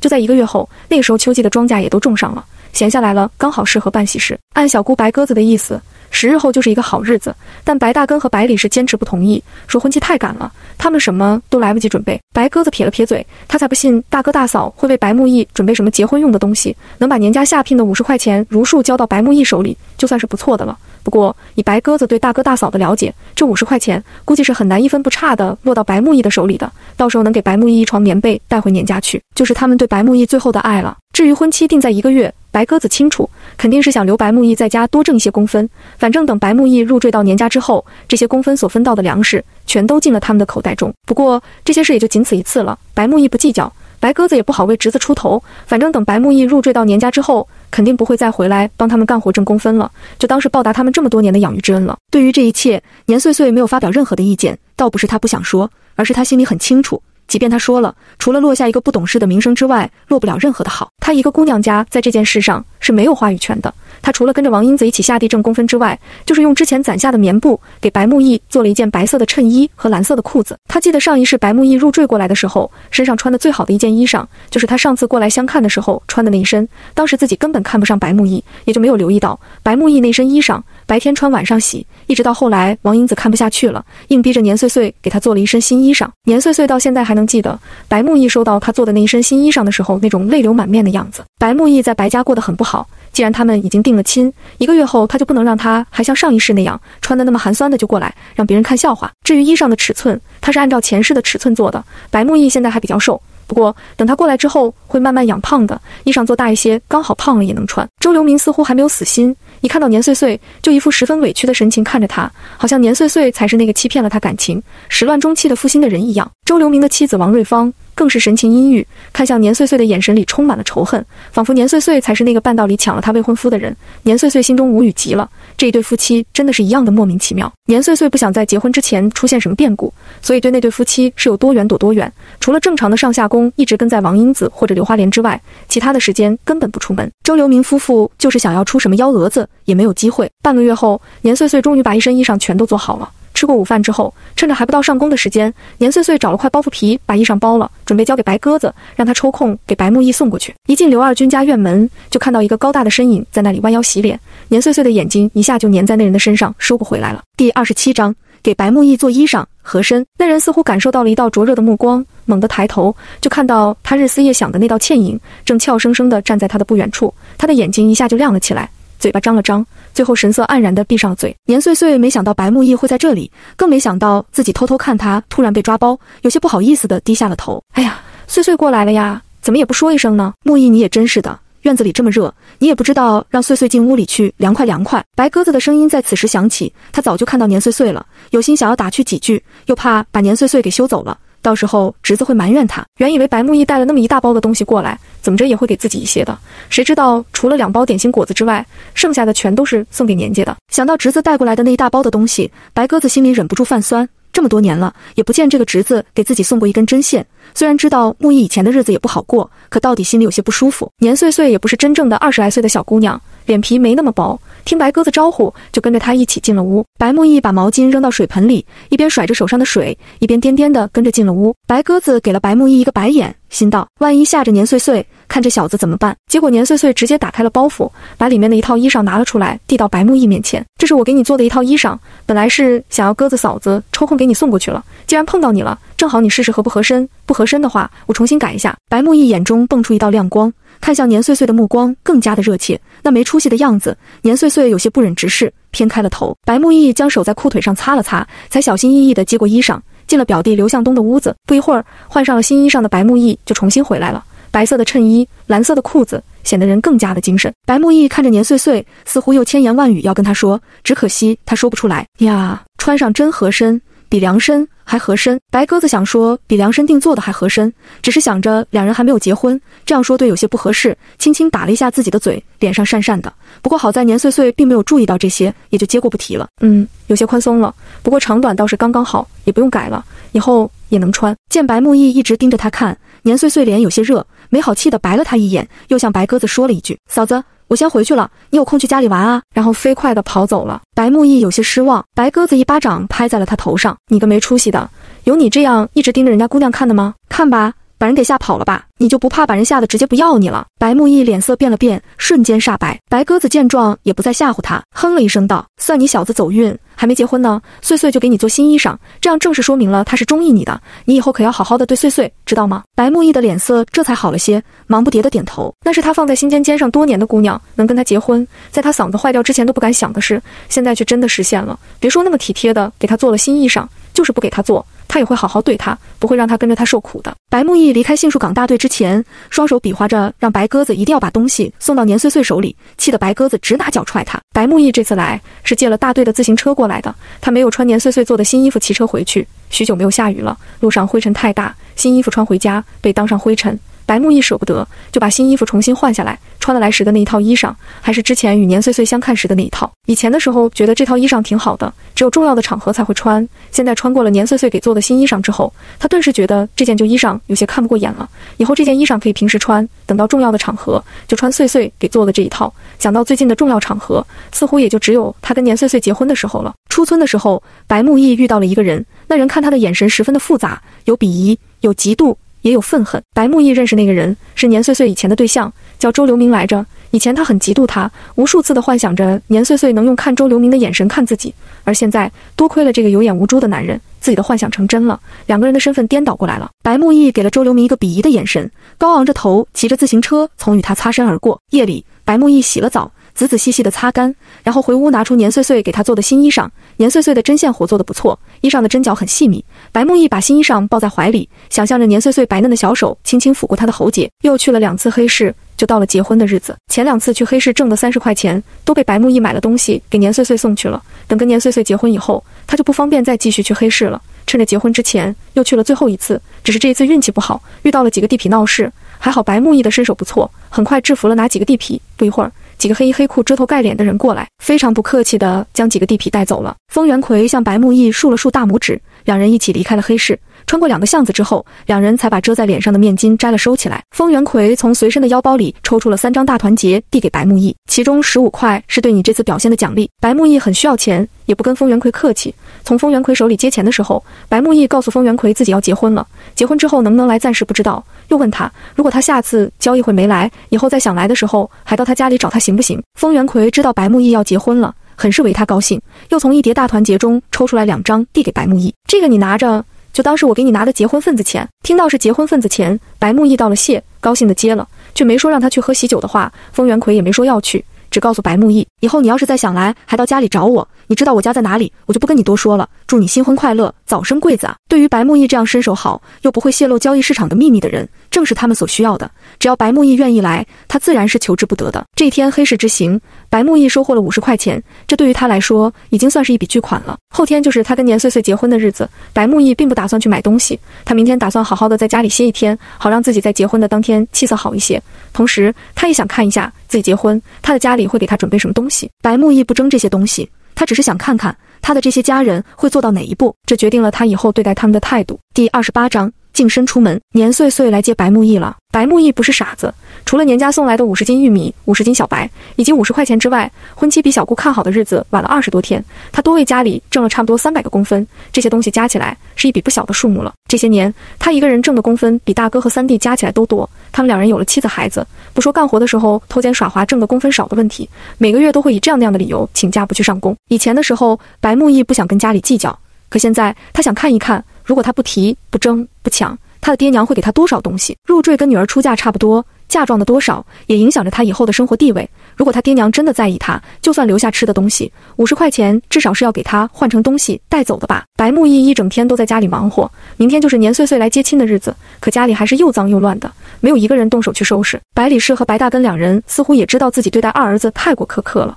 有些没脸面对他，就连吃饭的时候都眼神躲闪。吃完饭，立即就躲到自己屋里去了，唯恐白木易向他们问明天会给他带走什么东西。他们也不想亏欠二儿子，只是他们以后还是要靠老大和老三来养老。老二这样的残缺之人，既然入赘出去了，以后就当是没生过这个儿子吧。直到年岁岁在众人的簇拥下乘坐牛车来接白木易时，白木易也没等到白大根和白李氏提出要给他带东西，他彻底失望。换上年岁岁给他做的新衣裳，这家里的所有东西他都没有带，包括那套他曾经宝贝的不得了的衣裳，他也叠好放在了床上。走到堂屋，白大根和白李氏端坐在八仙桌的两侧，见白木易进来，两人的眼神有些躲闪，白木易也没有在意。跟年岁岁一起向白大根和白李氏磕了三个头，然后在众人的簇拥下出了门。白大根和白李氏面带愧疚，却自始至终都没有提一句给白木易什么东西，只结结巴巴地说了一句：“以后好好的过日子，不用挂念我们。”年岁岁也没有在意。果然，不管是前世还是今生，白家在亏待白木易这件事上，从来都没有让他失望过。牛车上，年仓库和刘花莲长孙年大林和赵凤霞三岁的儿子铁蛋儿兴奋的小脸通红。铁蛋儿本来跟小伙伴玩的正欢，不愿意过来，是他奶奶告诉他去给岁岁姑姑压车，有红包可以拿，并承诺他拿到了红包的钱不没收，都给他买零嘴吃，他才勉为其难的来了。可铁蛋儿左等右等，一直等到牛车准备回去了，也没见有人给他红包，顿时就有些不乐意了。小孩子心里藏不住事儿，小嘴扁了几次。在看到年岁岁跟白木易出来之后，铁蛋彻底没了指望，一下就忍不住了，哇的一声就哭出来了。跟着一起来的铁蛋的亲娘赵凤霞脸一下就黑了。压车行是不能哭的，要是哭了，那就是不吉利，对以后新婚夫妇的生活不好。年岁岁怔了一下，一下就明白是怎么回事了。他没有怪铁蛋儿，毕竟人还小，说好的过来拿红包，结果到了这里根本没人给红包。小孩子又不会像大人一样能忍受委屈，一时心里难过哭出来是在所难免的事。年岁岁看了看白家的人，不管是白丰收还是白运来，还有两人的媳妇麻秋和杨红艳，都在年岁岁眼睛看向他们的时候，异常统一的把脸转向了一边。白鸽子在年家帮着张罗，跟着年岁岁一起来接亲的是白木易的姑父刘二军。刘二军不知道规矩，问了旁人才知道要给铁蛋儿这个押车的孩子红包，可白家人摆明了就是不想给。自己这边又没有准备，急得额头冒汗。年岁岁看向白木易，只见他脸色十分的难看，显然也被气得不轻。很好，白木易对白家人失望，从这一刻开始吧。对于吸血虫一样的白家人，年岁岁决定让白木易慢慢的彻底远离他们。年岁岁从兜里拿出了一块钱，从白家门框上撕下一块过年时贴的红对子，把一块钱包了进去，然后把钱偷偷给了白木易。白木易突然被年岁岁抓住了手，半个身子都酥麻了。不等他继续一想。手心里就被放了一个红封，又看到年岁岁朝他示意，一下就明白了他的意图。白木易把红封递给哭得上气不接下气的铁蛋儿，铁蛋儿看着包的有些丑的红包，停止了哭，一脸纠结地看着红包，最后决定打开看看，再决定下不下车。结果打开一看，竟然是一块钱，一下转悲为喜。一块钱，这对于平时的零花钱只有一分两分的铁蛋儿来说，简直是一笔巨款。他满意极了，也不让白木易抱，十分麻溜地从车辕上跳了下来，吓得赵凤霞差点心脏都跳出来了。心中暗暗决定，等回去之后，不但要没收铁蛋的红包钱，还要狠狠地请他吃一顿竹笋炒肉吃。这次来梨树岗大队结亲的，除了年岁岁和赶牛车的六叔，就只有年大林和赵凤霞夫妻。刘二军这个媒人，还有一个是年岁岁他们所在的生产队的队长，年岁岁的本家，他该叫三哥的年国良，再加上一个押车的铁蛋。来的时候，年国良还在犯愁，万一到时候加上行李坐不下该怎么办？梨树岗大队不说在深山里面吧，可相比杏树岗大队来说，离县城可是远了好多。如果走回去的话，至少也要三四个小时，到家都到下午了。这边的规矩，只有寡妇再嫁才会在下午。原本年国良的意思是想要准备两辆牛车的，被年岁岁阻止连连。看到白木易空着手出来，年国良这才明白年岁岁为何不让准备两辆牛车。即使是入赘，男方家里多少也会准备一点行李的。可现在年国良忍不住摇头，过分了。好了，现在不用愁牛车坐不下了。第二十九章。你是吃绝户吃上瘾了吗？一行人说说笑笑的，赶在中午之前回到了杏树岗大队。家里早就准备好了。虽然年岁岁说了不用大办，一家人过日子冷暖自知，没必要讲究那些排场。可年满仓不愿意委屈了年岁岁，在家里的院子里摆了几桌席面，请了平时相近的几家过来吃席，也见证年岁岁和白木易两人的婚事。年满仓兄弟三人，他排行老大，除了年公良这个二弟之外，还有一个三弟年运良。年公良家因为王巧的事，基本已经闹僵了，年满仓根本没请他们来吃席。结果到了吃席的时候，年公良一家四口整整齐齐的全都到了，还专拣桌上油水大的菜吃，那几辈子没吃过东西的样子，让人忍不住皱眉。年运良一家三口从头一天晚上的时候就过来帮忙了。年运良的媳妇何雪昨天晚上偷偷告诉年岁岁，你明天要小心一些，我听你奶跟你爷商量，明天可能会过来闹事。年运良一家住在老宅，跟年岁岁的爷奶一起住。所以何雪才能听到他们的谈话。年岁岁入赘的事定下来之后，年满仓提着礼品去了老宅，跟爹娘说了这件事，结果被两人给打了出来。两人很坚决地跟他说，家里的产业不会便宜外人，入赘的事我们不会承认的。将来家里的房子产业都要留给金山银山兄弟俩。年满仓讨了个没趣，回去跟年岁岁说了这事。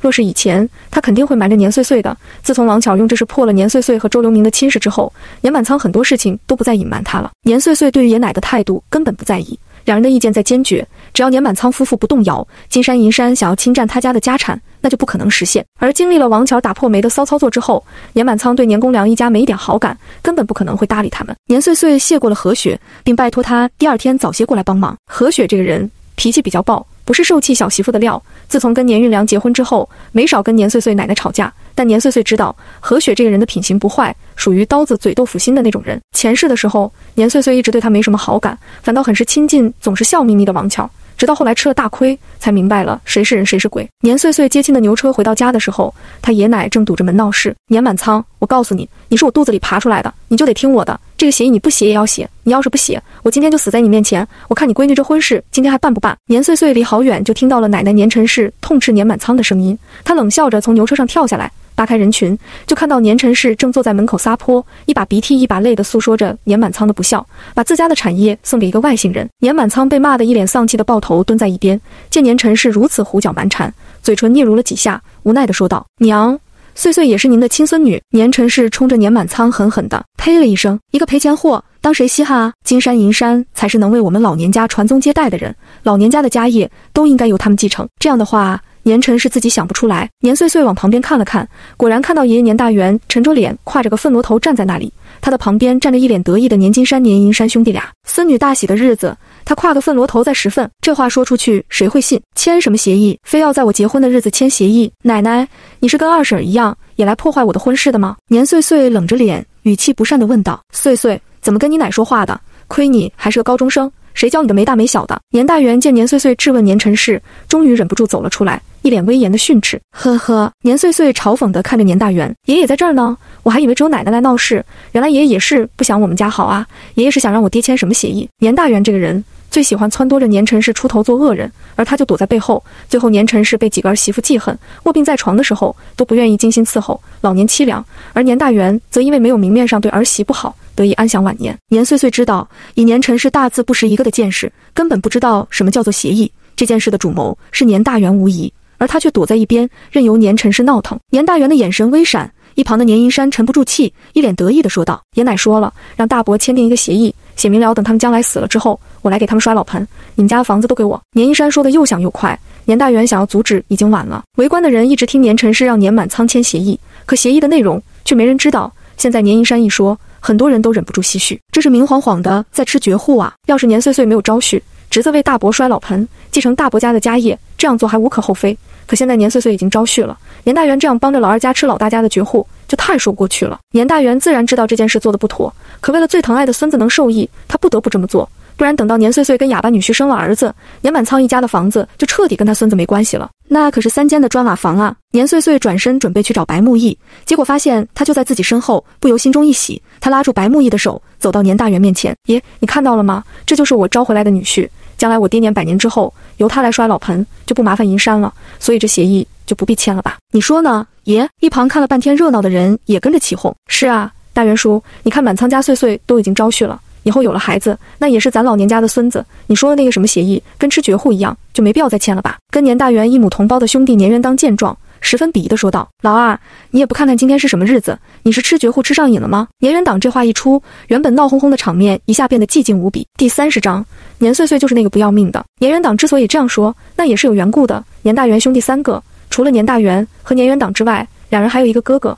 只不过这个年家老大哥早年的时候当兵，跟着部队离开了家乡，后来在解放西藏的时候牺牲了。年家老大在牺牲的时候。留下了一个两三岁的女儿。后来安定下来之后，政府给年老大发烈士抚恤金，年大元就以年老大没有儿子，年大嫂早晚会改嫁为由，不让年大嫂领取抚恤金。为此，年大元背着他瘫痪在床的老娘，还在大队闹了一场。听年元当嘲讽地提起了当年之事，年大元支支吾吾半天。想到当年他被公社的领导狠狠地训斥了一顿，他心里就有些退缩。可又想到年满仓可是他儿子，跟当年大哥那是可不一样，瞬间又有了些底气。最后瞪了年陈氏一眼，年陈氏立即会意，大腿一拍，开始哭闹起来。年岁岁知道今天这件事是没办法善了了，从年陈氏旁边跨进大门，然后直接进了厨房，不一会儿就拎了一把菜刀出来了。白木易见状，脸色一变。想要上前，年岁岁朝他摇了下头，示意他先稍安勿躁。爷，乃这样，不就是想要把我家的房子要去给银山吗？啊，我费这么大劲招婿过来，就是为了继承家业的。不过现在看你们这么想要我家的这三间房子，我倒是可以成全你。你。你想干什么？年银山看着年岁岁手里的菜刀，心里发毛，不知道他说的成全是准备以何种方式成全。年银山，你这辈子命不好，投胎到了你娘的肚子里，不能继承我家的这三间砖瓦房。这样吧，我今天先砍死你，你抓紧再去投次胎。要是命好，投胎到我娘肚子里，我到时候就跟白木易搬出去，家业都让你继承。你看怎么样？怎么样？年银山觉得不怎样，可还不等他说话，耳边一阵凉风，年岁岁手里的菜刀贴着他的耳根划过。如果不是他爷拉了他一下，那菜刀可就砍到他脖子上了。年银山顿时惊出一身冷汗。他是想住大伯家的砖瓦房，可他没想过用这样的方式啊！万一他再投错胎呢？啊呸！想什么牛鬼蛇神呢？他要真死了，就什么都没了呀！爷爷，快救救我呀！年岁岁他要杀我呀！年银山破锣嗓子都吓得破了音，裤裆里一热，一股带着刺鼻骚气的液体就顺着大腿流了出来。年岁岁，你住手！你想干什么？年大元没想到年岁岁竟然敢真的动手。如果不是他拉了年一山一把，那一刀可真的就砍在了他脖子上啊！你个畜生妮子，你敢杀我宝贝孙子，我跟你拼了！不止年大元大惊，年陈氏也一个纵身麻溜的从地上站了起来，像之前对付儿媳妇一样，准备用头朝年岁岁胸口顶。年岁岁丝毫不慌，把菜刀往胸口一横。如果年陈氏硬是撞上来的话，那就只有血溅当场了。但年岁岁知道，年陈氏比谁都惜命，他以往顶儿媳的时候，也都是往胸前。杜甫这些柔软的地方撞，年岁岁料定他不可能真的往菜刀上撞的。果然，年陈是看到年岁岁胸前横着的菜刀，眼睛瞪得似铜铃，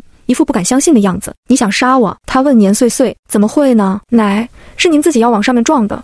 死了我也不会犯杀人罪的。年岁岁一本正经的胡说八道。还有年银山，他这么想要我家的房子，我这是成全他，等他下辈子投胎做了我兄弟。我家的一切都是他的，横的怕愣的，愣的怕不要命的。现在年岁岁就是那个不要命的。年陈氏看着年岁岁这疯癫的样子，一时不知该怎么办了。他看向年大元，想要向他讨个主意。年岁岁也看向年大元，似笑非笑的说道：“爷，你看我这个办法好不好？”年大元气得吐血，哼了一声，狠狠地瞪了年满仓一眼，知道今天这事怕是没办法按照他的意思走了。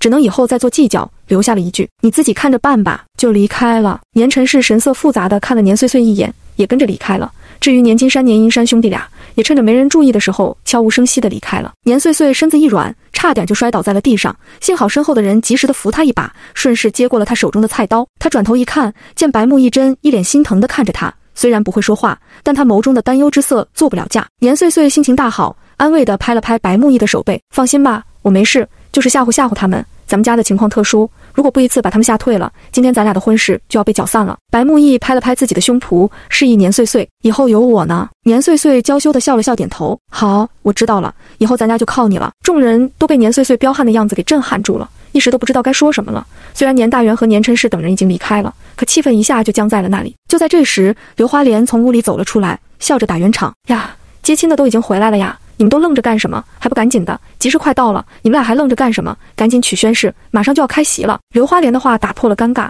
众人虽然心中对于年岁岁的彪悍感到咂舌，却都没说什么。招婿的女人如果不彪悍，那就可能会被上门女婿给拿捏住了。年岁岁这样也挺好的，最起码以后不会受上门女婿的辖制。气氛很快就又热闹开了。年岁岁和白木易在伟人照片前读了宣言。白木易虽然不能发音，但他的嘴唇跟着年岁岁的嘴唇在动，一字不差的把宣言读完，充当司仪的大队长的宣布：年岁岁岁、白木易，恭喜你们结成革命同志，希望你们以后的日子里能够互帮互助，同心协力，再接再厉，为祖国贡献自己的一份力量。婚礼简单而隆重。年满仓在院子里摆了四桌席面，请了进门的几家交好的叔伯兄弟。年满仓带着白木易向这些年氏近亲们敬酒，介绍了白木易给这些人认识，同时也让这些人以后多关照一下白木易，不管真心假意吧。白木易既然已经入赘到了年满仓家，这些人自然也不会在大喜的日子里说什么不好的话，都笑着答应了。敬完酒之后，年岁岁招婿这件事就算是落下了帷幕。